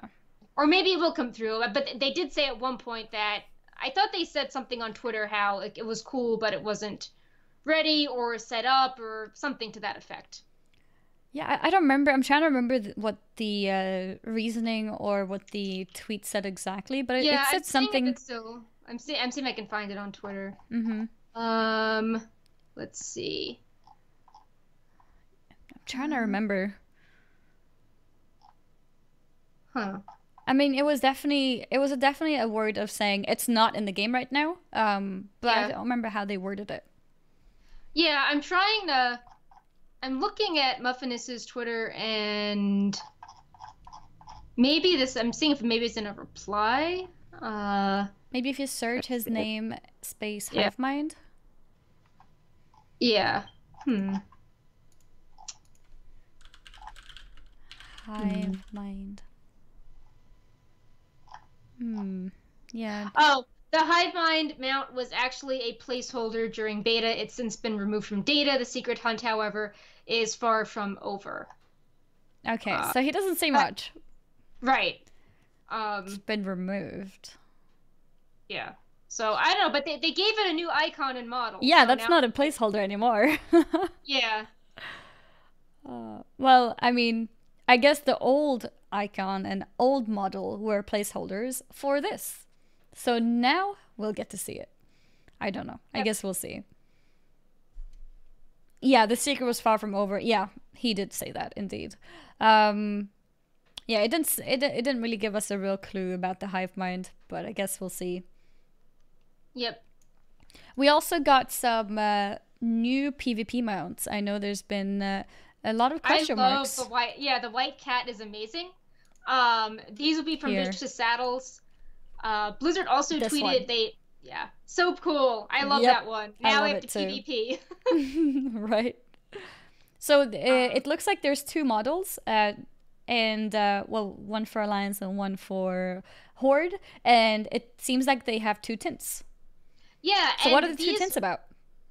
So these are like black and white recolors of a um, the Forsaken Warhorse and the uh, Saber Cat that have been from Vicious Saddles for a really long time. And these models aren't necessarily new, but they finally added mounts to them, so they've been just hanging out in the data for you know years at this point. Okay. Uh, so we think all of them are from Vicious Saddles. Nothing is confirmed. Uh, you may also be thinking, hey, but there's no Vicious Saddle vendor. This is a bug, and it'll be making a return in the patch, so you can once again target the uh, mounts you want from Vicious Saddles, as opposed to just being given like one per season. Mm-hmm. Um, I actually yeah, have an extra Vicious Saddle. One. Oh, you should save it on the on the, on the white one. It looks so cool. I love I the white nightsaber. It really does. It's on the screen now again for you guys to see it.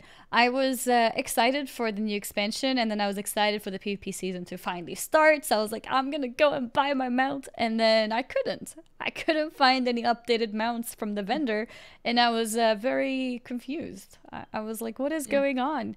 Why is there no mount on the vendor? And then I saw the mount as a reward if you complete yeah. the PvP in the season. And like if you reach 100%. And um, apparently, like you said, there was some new information on that they will probably be in the vendors sometime. Is it yeah. 8.1 or? Yeah, there was a blue post being like, yeah, we messed up. Um, they should be on the vendors because everyone's like, well, what am I going to do with this like beautiful data mine mount if I don't have a choice with what I get? Yeah. Also, that means because there's currently no achievements that give vicious saddles, it means that all the old PvP mounts are unobtainable, right? Right. So that's why when the saddle will come back on the vendor, then you can get all the old um yeah as well. Because right now people are just like, well, I don't want this hippo, I don't want this Mag'har orc. You know, yeah. I want to get you know this one I really care about, and you can't do it right now. I don't know why they couldn't have hot fixed like the vendors in, but I guess it has to wait for a patch. Yeah, I guess so. Somebody in the chat says you can still get the saddles. Tell me how, because well, I don't think the achievement gives it anymore, does it? I think, yeah, I think you just get them out when you fill up the bar. Yeah. That's what I thought too. Yeah, and then you can get them, of course, in the future. Oh, that's uh, true. You can still get them from the uh, from completing RBGs. Right. That's true. Uh, yeah. But yeah, that covers the new mount models for yeah. the new mounts coming in in 8.1. Uh, the next topic in new models are creatures. Yeah. So we noticed that there were a lot of night elf tree creatures actually. Yeah, probably for the warfronts. Oh, yes, of course. I was wondering at first, but yeah, that makes sense. Yeah. So, you know, there's Ancient Protectors, Ancient of War, Ancient of Wind, mm-hmm. uh, Ancient of War Diseased, uh, and Tree of Life. Lots of awesome Night Elf tree protectors. Mm-hmm. Um, there's also versions of Night Sabers that are not the mounts. Uh, there are. I'm going to mispronounce this. There, let's see. There is the capybara, which is kind of like a mascot of Brazil. It's a very cool, cute little furry creature. Um, yeah, it's kind of like a big guinea mm-hmm. pig. So, uh, yeah. Is it a reference specifically, or or like what is this? Is it going to be a pet? We don't know. We don't um, know. But we have some people from Brazil, and they were really excited. Yeah, I can imagine. Model. Yeah, so it's kind of like this little cute furry, mm-hmm. you know, guinea pig, big guinea pig. Mm-hmm. Uh, and yeah, um, always good that there's cute models added in patches. Mm-hmm. We also have a stag here, which uh, kind of goes hand in hand with the sleigh here. Yeah, so this is probably a Winter Veil thing. Yeah, probably Christmas things. Yeah. During Winter Veil. We also got some updated Tall Striders. Let's see if I can find them. Uh, bum, bum, bum. I actually cannot find them, but I uh, we can give you guys yep, a they're updated. quick flashback of Kalthus again with the uh, golden orbs. Let me find the tall striders. I think they just snuck away. Uh, let's see. Creatures, tall striders. There we go. There's actually a lot of colors as well of these tall striders. Yeah, Lots of so, different versions of it.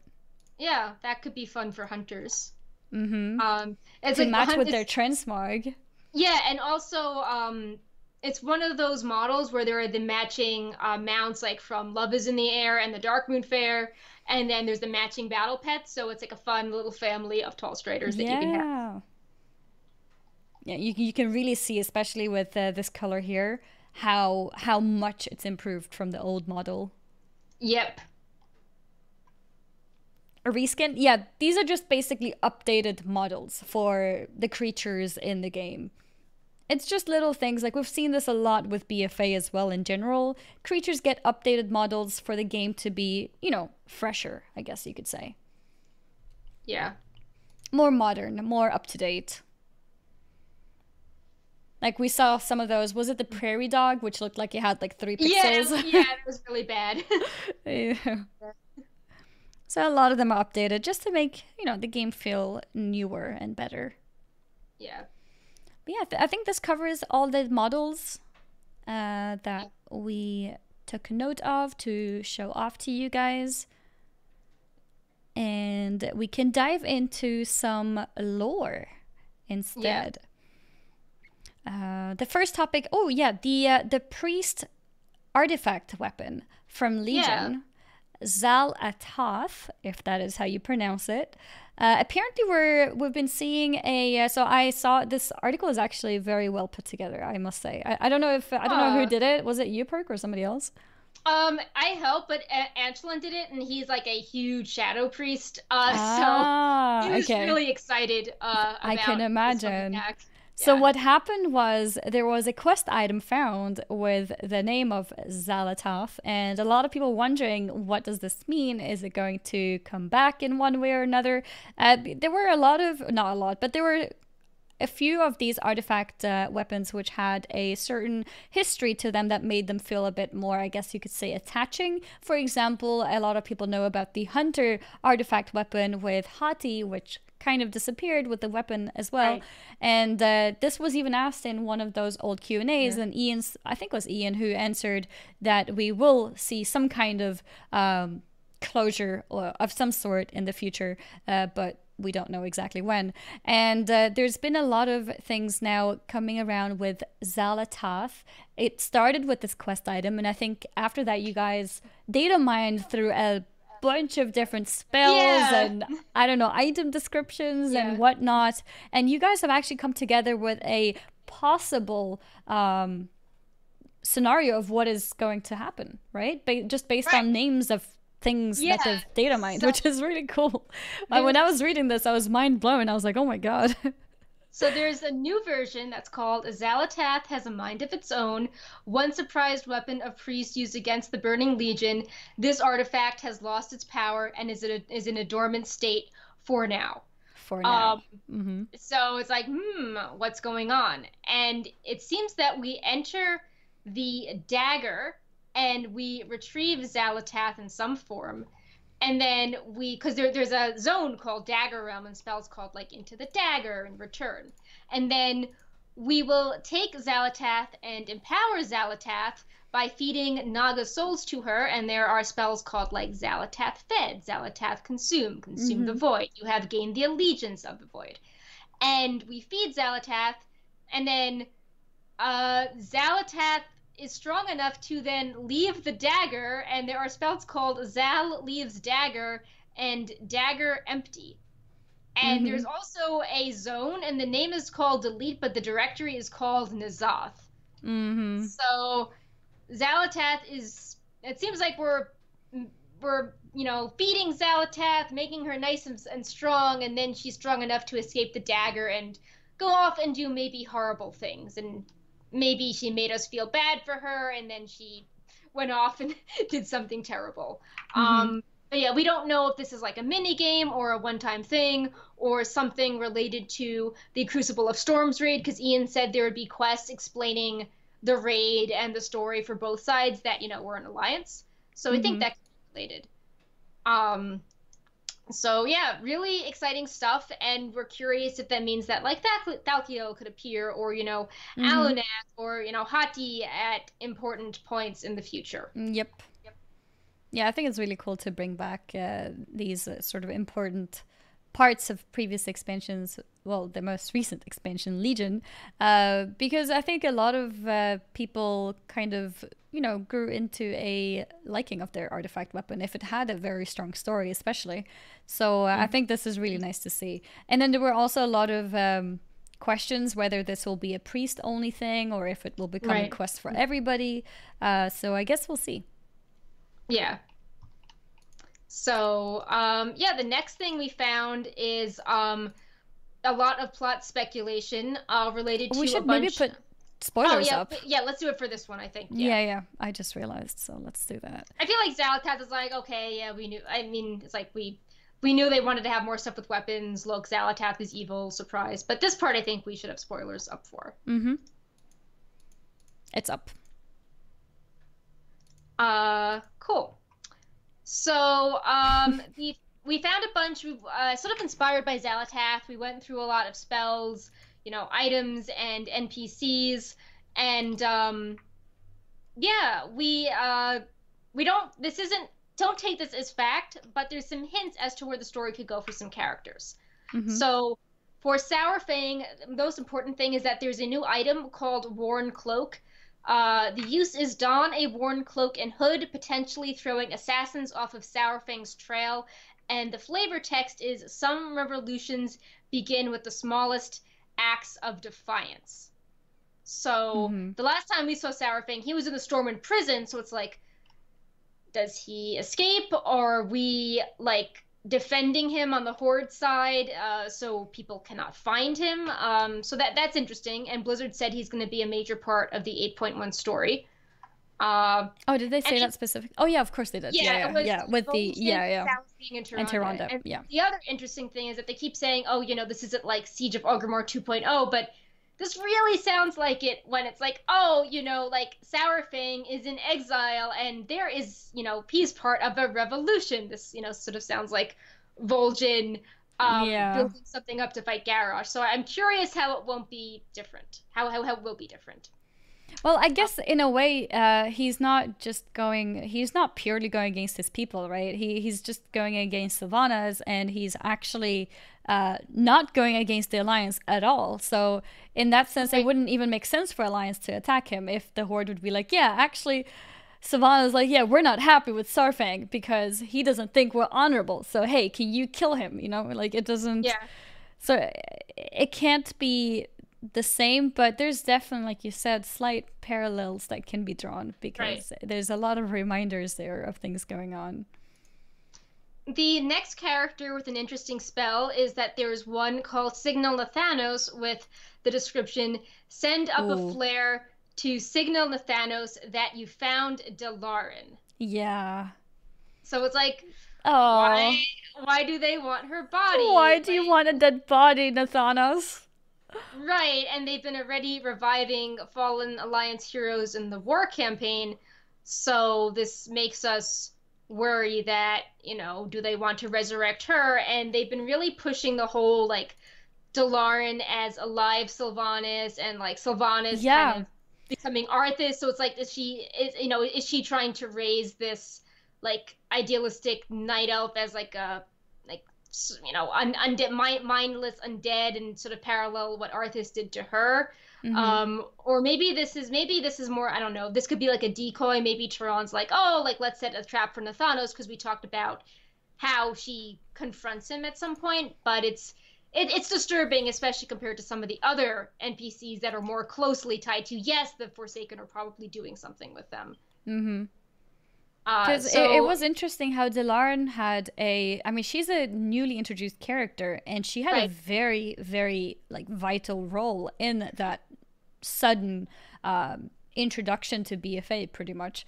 So if um, it's it's it would have almost been surprising if we didn't see more of her, but if we're gonna see more of her in like a forsaken way, uh, that that's scary.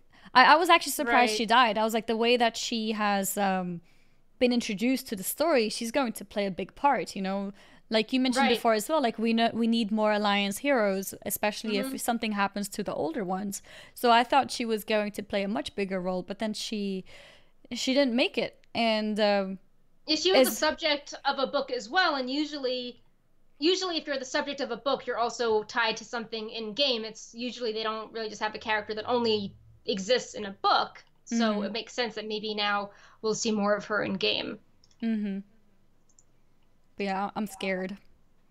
If she if she's revived, it's going to be so sad. It just keeps reminding me of that scene when Sylvanas made her look at the tree.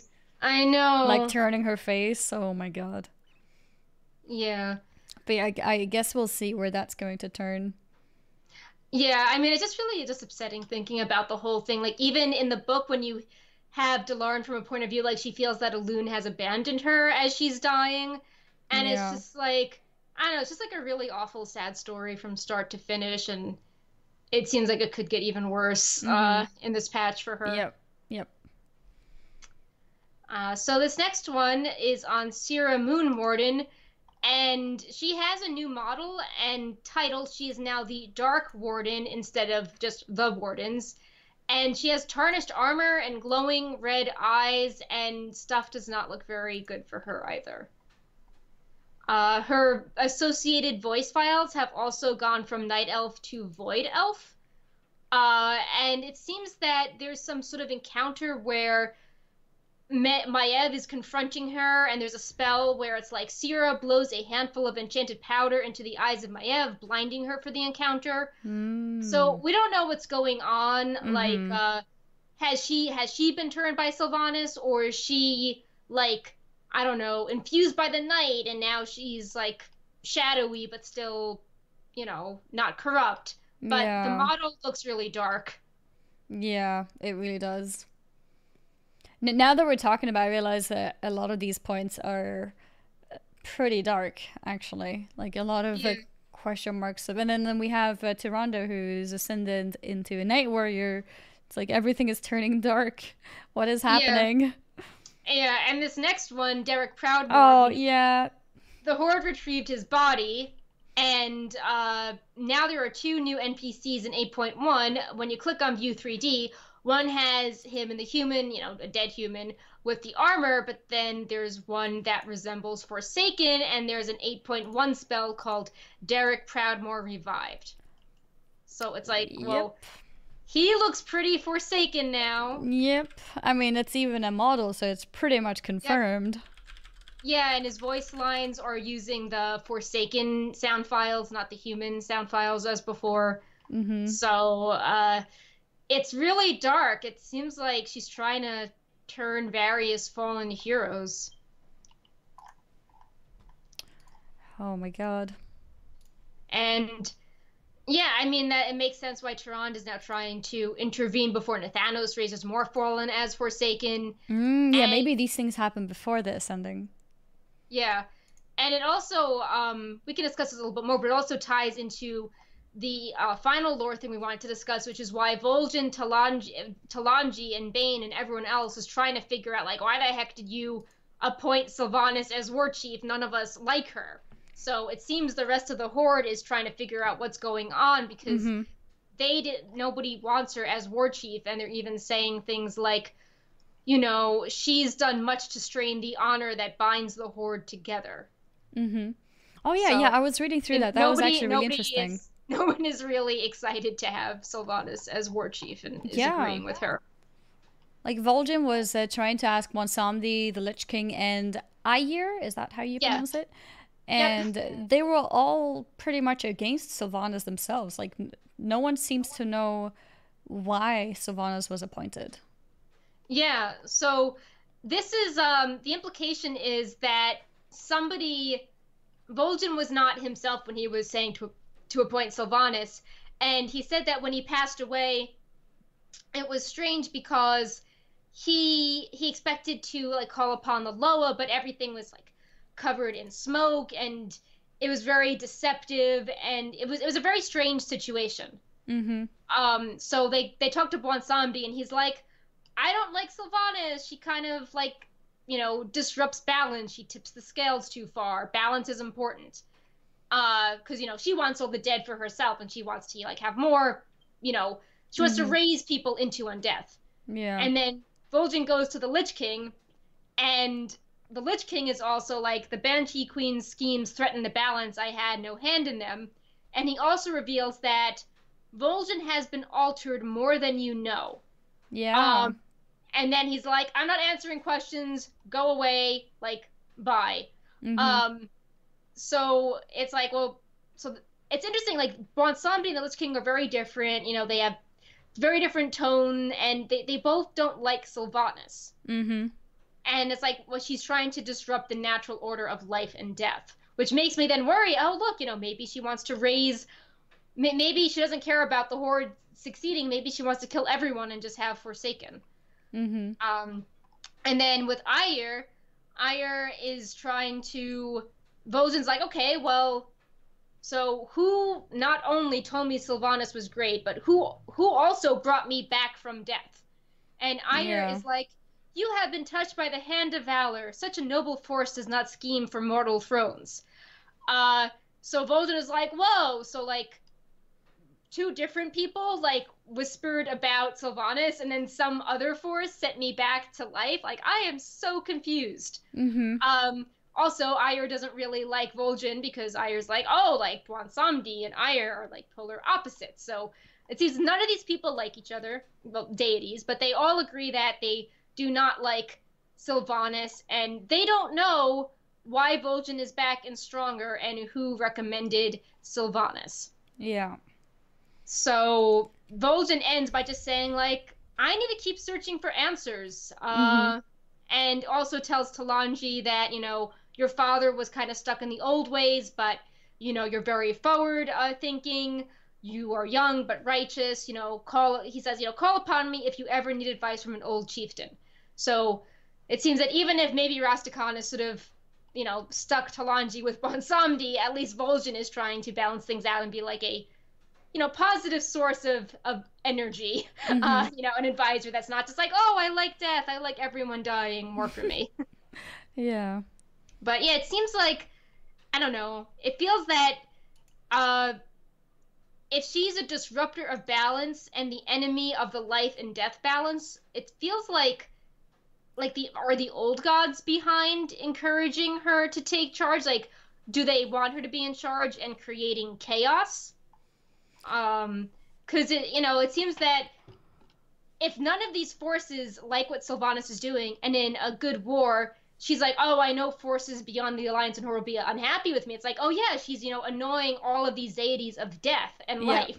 Yeah. You know, and annoying both factions. Doing to yeah, some extent. Yeah. Alliance, Horde, Elune, yep. which is all about life, you know, the yep. Night Elf culture, and now, like, if, if the Lich King doesn't like you, like, yeah, exactly. messed up, so. and something is really wrong. But at the same time, we don't want it to be that she's under the influence of the old gods either, because that kind of yeah, that feels ruins kind of her personality. Yeah, exactly. Yeah. Like we want to, I think we want to see. I don't know. What do we want to see? We want to understand.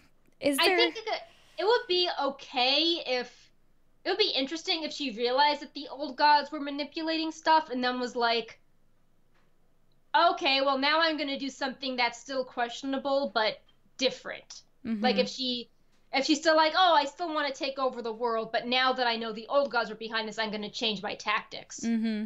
Um, that that could be interesting. Like, so the old gods want... are another enemy. Everyone is an right. enemy. Right. I don't want her to do a tactic where it's like, oh, the old gods made me evil. I will now heroically sacrifice myself. Yeah, exactly.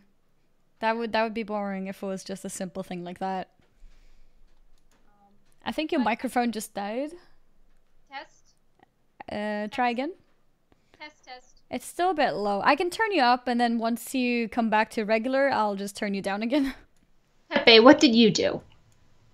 There we go. Um, is it okay? So it's good now. I think so, actually. Yeah, I had to turn you down okay. again. it worked as soon yeah. as I put you up. Okay. Yeah. This. Oh, yeah. Um. Yeah. I wanted to point out uh, we have a little bit of live news to cover, but uh, Sas just said that uh, he needs to leave in like 15 minutes, so he wants to do last call for the giveaway now. Okay. Um, which is um, prize virtual ticket, keyword BlizzCon in chat. Mm-hmm. So type BlizzCon in the chat if you want to have a chance to win a virtual ticket for BlizzCon. And this virtual ticket, in case you weren't here at the beginning of the show, will include a playable classic demo uh, during BlizzCon and slightly a couple days after BlizzCon as well. And for World of Warcraft itself, it will include a maybe not very exciting, but cloak and banner for both factions. And you will also get some uh, cool stuff, some goodies from other games, other Blizzard games as well. Yeah, so for live news to run through quickly, because I got a meeting to run to soonish as mm-hmm. well. Um, we've got some interesting news on island expeditions. Um, basically, uh, throughout the last few weeks, everyone's like, "Why don't I never get stuff from island expeditions? I want my cool weapon. I want my cool mount. I want my cool pet." And uh, it really, um, a lot of people had been kind of leaving anecdotal evidence. and It sort of blew up with a post on Reddit that the way to farm islands efficiently is totally at odds with the way to increase your chances at getting the special loot from the mm-hmm. islands. Exactly. So normally, if you just want to win, you try to sort of blow through it, get your Azerite. Um, but if you want the special rewards, you should kill all the themed mobs, kill all the rares, do these special uh, events, and then at the end, your chances will be higher of getting that type of loot. Mm-hmm. And it's not just like a loot table with 10 billion things. It's like the mob that has pirates up this week. The pirates will be themed. They will, they can give you the loot like you know Squawks, the pirate mount, or the Vrykul can give you the plundered blade of Northern Kings, or the Vrykul shoulder pads. Mm-hmm. So, if you want to target the islands, uh, see what the creature type is for that week. If you like that creature type, make sure to queue and hope you get that island a lot, and then do all the special events related to um, that mm-hmm. island. The way the way that you can uh, see it in a more easier to understand way is that every time you kill a mob, imagine that you're looting that mob. But right. instead of looting it directly, you get the loot at the end of the island expedition. There's also confirmed yeah people yeah. who have been getting multiple rewards not just one pet maybe yeah. even two pets maybe maybe three maybe a toy and two yeah. pets so basically for every mob that you kill you are looking at that mob's loot table and if it dropped you will get it at the end of the island expedition so if you're if you want to target specific items a specific mount specific pet specific transmog then you could look up what kind of mobs uh, actually can drop that I mean, I guess you could say what what it drops. Yeah, uh, which themed mobs are um, for in interest for you, and just farm that. Uh, in general, uh, what you want to farm are rares with special names, like unique names, yeah. and also uh, when you have invasions, when you have a bunch of these things like flying in, and you get lots of, for example, pirates. Those are usually also very good to kill. Right. So we are working on uh, using spreadsheets and whatnot. We were actually working on updating the island guide to group the various loot by uh, enemy theme, so you can then quickly see in the future, like, oh, like, you know, Kvaldir what does that mean? What can I yeah. get from it? Uh, yeah. To see if it's a week you really want to farm islands or not. Exactly. Like it could be like this specific pirate has a 1% chance to drop a certain thing. You kill a mm-hmm. hundred of them, you're pretty likely to see a drop. Right. Like it's. Uh, yeah it's exactly like regular looting, except you get the reward at the end, so it can be a bit confusing. Yeah.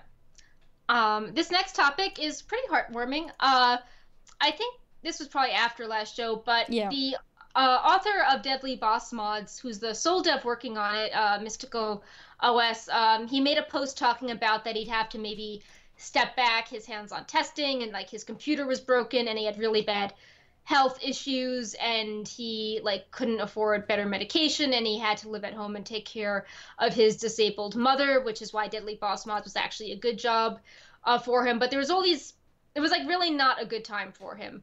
And he made a post and didn't really think anything would come of it but it really blew up. And then um he um he actually uh, met all of his patreon goals and blizzard even took note and sent him along with the help of msi um, a brand new computer and a bunch of collectibles. Um, and you know, it was a re- really nice, um, Mm-hmm. you know, really nice thing to do. Um, really heartwarming. Um, you know, there, there's there's still a discussion of like, should it have gotten to this point before Blizzard? Like, you know, what what is the support structure for people making third party tools? And you know, should some you don't want someone talking about using like medication for fish in order to have Yeah. to you know, get Blizzard to notice you. Um, so it feels like the whole like content creator community could be more sustainable. But um, obviously, you know, it is awesome that when he made this post, the community came together and you know got so many donations for him for him to meet his patreon goals maybe now he can get more people to help him with the add-ons so it's not just one person trying to like test everything and write everything and like rate it mythic level. So um it's just nice to see a happy ending and that the community was so important in helping his uh, you know donation bar go up and hopefully making deadly boss mods more sustainable um, in the future for him and having him have a better quality of life and Indeed. more of like a health you know work life balance Exactly. Yeah, and I was I was really it was a really nice uh, uh, sort of surprise to see that even Blizzard reached out like that. Like I don't know if you saw this one. Ah, the slide just moved away. Oh. Uh, but they they sent Okay. him the collector's edition with like everyone's signatures on them, and uh, I Yeah. think. It, it's a cool, re- really cool little detail that uh, it, it shows how there were a lot of people at Blizzard who were involved, not just one person who decided to send a package away. Um, there was more thought put into it, and uh, I think that's really sweet. yeah So that's Um, awesome too. It was awesome news. yeah Um, back to the also- live game. yeah, there's also a lot of hot fixes. We're not gonna not, not gonna go into all of them, but uh, I just want to highlight two quickly. One was that if you like achievements, um, clever use of mechanical explosives can now be completed. Uh, because they hotfixed how the Storm St- Stormsong Valley truffles worked. Uh, so we have, you know, a detailed guide to that. And if you're wondering why this sounds familiar, uh, this is a joke to about the guild Ensidia, who uh, got the world first on the Lich King, but then they it was later deemed an exploit because of the use of Saronite bombs, which then rebuilt part of the uh, platform. So Mhm. this is a joke uh, to that achievement, which uh, I don't know, maybe Yeah. kind of gives a chuckle about that. Yeah, I think it's cool. I think it references to. I, I'm surprised there was a reference to a glitch. I mean, to an exploit. like Yeah. from a Blizzard's point of view, I don't know why why they decided to do that, but I guess it's cool. I mean, the fact that they do that means that okay, it's okay to laugh about it now. It's not too serious that they were exploiting. So um, yeah, I think it's cool. References are always nice, and Blizzard are pretty good at references. Yeah. And uh, then the next one is the I think we may have briefly mentioned this before, but the anchor weed. oh yeah, uh, this is a different hotfix for Anchorweed. Okay, so what is the difference? Or actually, before I think it said it was going to become more common, was it? And now it's Yeah. confirmed, is it? Yeah, so the PTR thing we were talking about way at the start of the show was that um, in the patch, the flasks will take less anchor weed to make. Mhm. Uh, and this hotfix was that you can now get more anchor weed if you have rank two or three skill for it. All right. So it's like they're uh, approaching the issue from both ways. You get more anchor weed, and then you will need less of it to craft stuff. I think I'm. I think I'm mixing it up because I think I read this because I remember talking about this on stream. So I I thought I think it was because it was before the show, and then I was confused and thought it was two different news. So I was like, "Yeah, we talked about this last week," but no, I think it was just on my own stream like two Yeah. days ago or something. Um, that because I was telling people to quickly sell off their anchor weed. it's gonna become Oops. cheaper Yeah. because it's more common. So if you're one of those people who's bought like thousands of them, uh, go ahead and start selling them fast because they will get cheaper and. Um, I guess together with them also becoming less needed in 8.1, it'll get even cheaper after that. Yeah. Uh, so yeah, so in closing, um, you know, we just wanted to, uh, you know, just remind you again of the Wowhead party and to RSVP for that as a final piece of news. Uh, Oh yeah, that's still going strong. Wowhead party uh, day before BlizzCon. I will be there. Perc will be there. A bunch of other Yep. people will be there too. And it's um, you just have to RSVP. It is completely free to go. If you want to support, you can pay for the ticket, which will then give you more things as a bonus. Uh, for example, you get uh, if you're over is it 20 in the US or 21? Yeah, Uh, 21 US. 21 uh, you get uh, drinking tickets that you can use to get drinks at the bar um, I, I don't know if uh, there is an option for people who are younger than that is it is it strictly Yeah. 21 plus for the whole thing Uh, no, there's a special wristband, um, one that's for not drinking and one that is for drinking. okay Um, but Fair yeah, enough. we also have special uh, collection uh, packages if you really want to support the party, Mhm. and we have packages that uh, include, um, like you know, some. Uh, we have some packages that are have some drink tickets, and then we Mhm. have other packages that do not have drink tickets, but you get more collectible pins and other gifts. So you know, if you are into drinking, there's a package for you. If you're If you're more into like drinking if you were to like more collecting or you're under 21 there's a package that doesn't really emphasize like you know the socializing uh, adult beverage part of the party hmm and here's a quick uh, look at the pins that are normally available in, in the store in the wowhead shop and uh, it's uh, i don't know if it's all of these pins is it all of these pins that are available in one way or another through the Yeah. tickets? So, So, I think the there were different collector- tiers of tickets, right? So some tiers Right. include like one pin, and then some tickets include all the pins, or? Right. So the socialite package which is 50 you get um two drink tickets and one random pin Mhm. for 100 it's that but two. Um, and then the collector which is 125 it's the all ages package. Uh, no drink tickets but you get all 10 pins. Okay, uh, and that's limited to 100 people which um, they're not totally sold out but they there is a fair num- a number of people that have gotten this so if you you know do want this uh, sign up for it and you have to do this before october 16th okay, gotcha. Sass will be there too. yeah sass will be our treasure goblin like running around with prizes Mm-hmm. And there's Um, uh, there's also uh, wheel spins that you can take part of over there, and um, yeah, a bunch of small stuff. You can, you can look at the different tiers of tickets if you're interested, and if you're not interested, then the regular ticket is Yeah. also fine, just to attend and be there, Yeah, meet, meet it's free. people. It's free. but if you want if you especially if you're around. line, Yeah. yeah if you want to skip the line and like you know get a discount on uh you know like all the pins and you know support support the site um you know def- definitely consider some of the uh, other packages but you know it's free it's free for everyone we're Mhm. just happy to see fans there I love that model, honestly. Give like making it free and then giving it an option, especially for people who will buy a drink or two. Like you might as well buy the ticket that costs fifty because you will probably spend that much on alcohol anyways, and then you get a bunch of other stuff instead with it. yeah uh, Uh, apparently, we've else? had different winners who are not responding to the giveaway. Uh, so I think this is the third or fourth name now. I'm not oh sure. no Uh, Sploob25. Okay, I see him responding now. Sploob25 is the winner of the giveaway. Yeah, that means Sass Yay. can now be off duty. Sass can Yeah. retire. Um, we had a few questions. I'm sorry that we can't answer them. I actually have a meeting with the with the guide writing team that I have to do. Um, yeah. we're all in different time zones, uh, but I will think about answering them uh, for next week uh, with the show. And you know, grats to Sploob25 uh, finally getting the BlizzCon virtual ticket. Stay tuned on Wowhead's social media. We'll be probably doing some more giveaways for the virtual ticket uh, very soon, as well Mhm. as all those other cool things that are announced, like uh, we'll be doing some more Captain Crackers. We mm-hmm. have some Artitude posters. I think Annie has a giveaway on her Twitter for these really cool art posters, and we got sent a bunch too. So we'll be mm-hmm. you'll be seeing them around in the next month or so on Wowhead giveaways. Mm-hmm. Uh, my giveaway is linked straight into the Wowhead or in the uh, Twitch channel. And the special thing about these posters is that they're actually unavailable for purchase because somebody asked in my tweet, like, hey, so in case I don't win, can I buy them instead because I love them? And Artitude actually responded to that person and said, nope, these are actually giveaway only. So uh, they're pretty unique in that sense that you can only win them, you cannot buy them.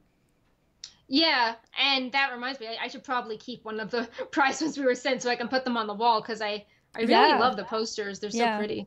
I need to ask Blizzard, like, hey, actually, you know, maybe I need a copy too. yeah. But yeah, it's it's they look really cool. So um, definitely give it a try to win through my giveaway or the Wowhead giveaway, which is not ongoing right now, but going on soon. Is that? yeah, Sass was Sass was sent this gigantic, I don't know, truck full of like ninety poster rolls. So. Oh wow. Okay. Yeah, he has like his own separate um storage place that has all the prizes because there's so oh, many. really? Oh many wow! I like for the party, so we will we'll probably get some of these out on like the BlizzCon prize wheel, but also oh um, yeah, that's you know, a good one. Mm-hmm. Probably telling it like, oh, get your virtual ticket and a poster bundle, something mm-hmm. like that. Mm-hmm. Sounds great, but yeah, uh, time to wrap up, guys. We uh, we need to let Perc run off to her other duties. She's not yep. only ours, she's also sometimes with other people, but it's okay. We still love her. Thank you guys all for supporting, for hanging out, for following the Twitch channel. If you're not already, you know, following is completely free. Uh, for people who are uh, subscribing or supporting in any other way, people who are subbed using the uh, Wowhead Premium on Wowhead's website, uh, for people who are, you know, actively in the chat, taking part in the discussions or questions and all that stuff. Thank you guys so much. And uh, I hope you guys enjoyed what we showed you this time. And let's see if there's a lot more to show for next week. Maybe there'll be another big PTR update with more models. We'll see. And um, yeah, yeah, whatever is up for next week, we'll cover yep, it for you. Should guys. be a fun show. Maybe some mm-hmm. more BlizzCon announcements too. Maybe we'll have yeah. a schedule or a floor plan at this point. Mm-hmm. And probably virt- more virtual tickets to give away next week as well. Yep. Take care, everyone.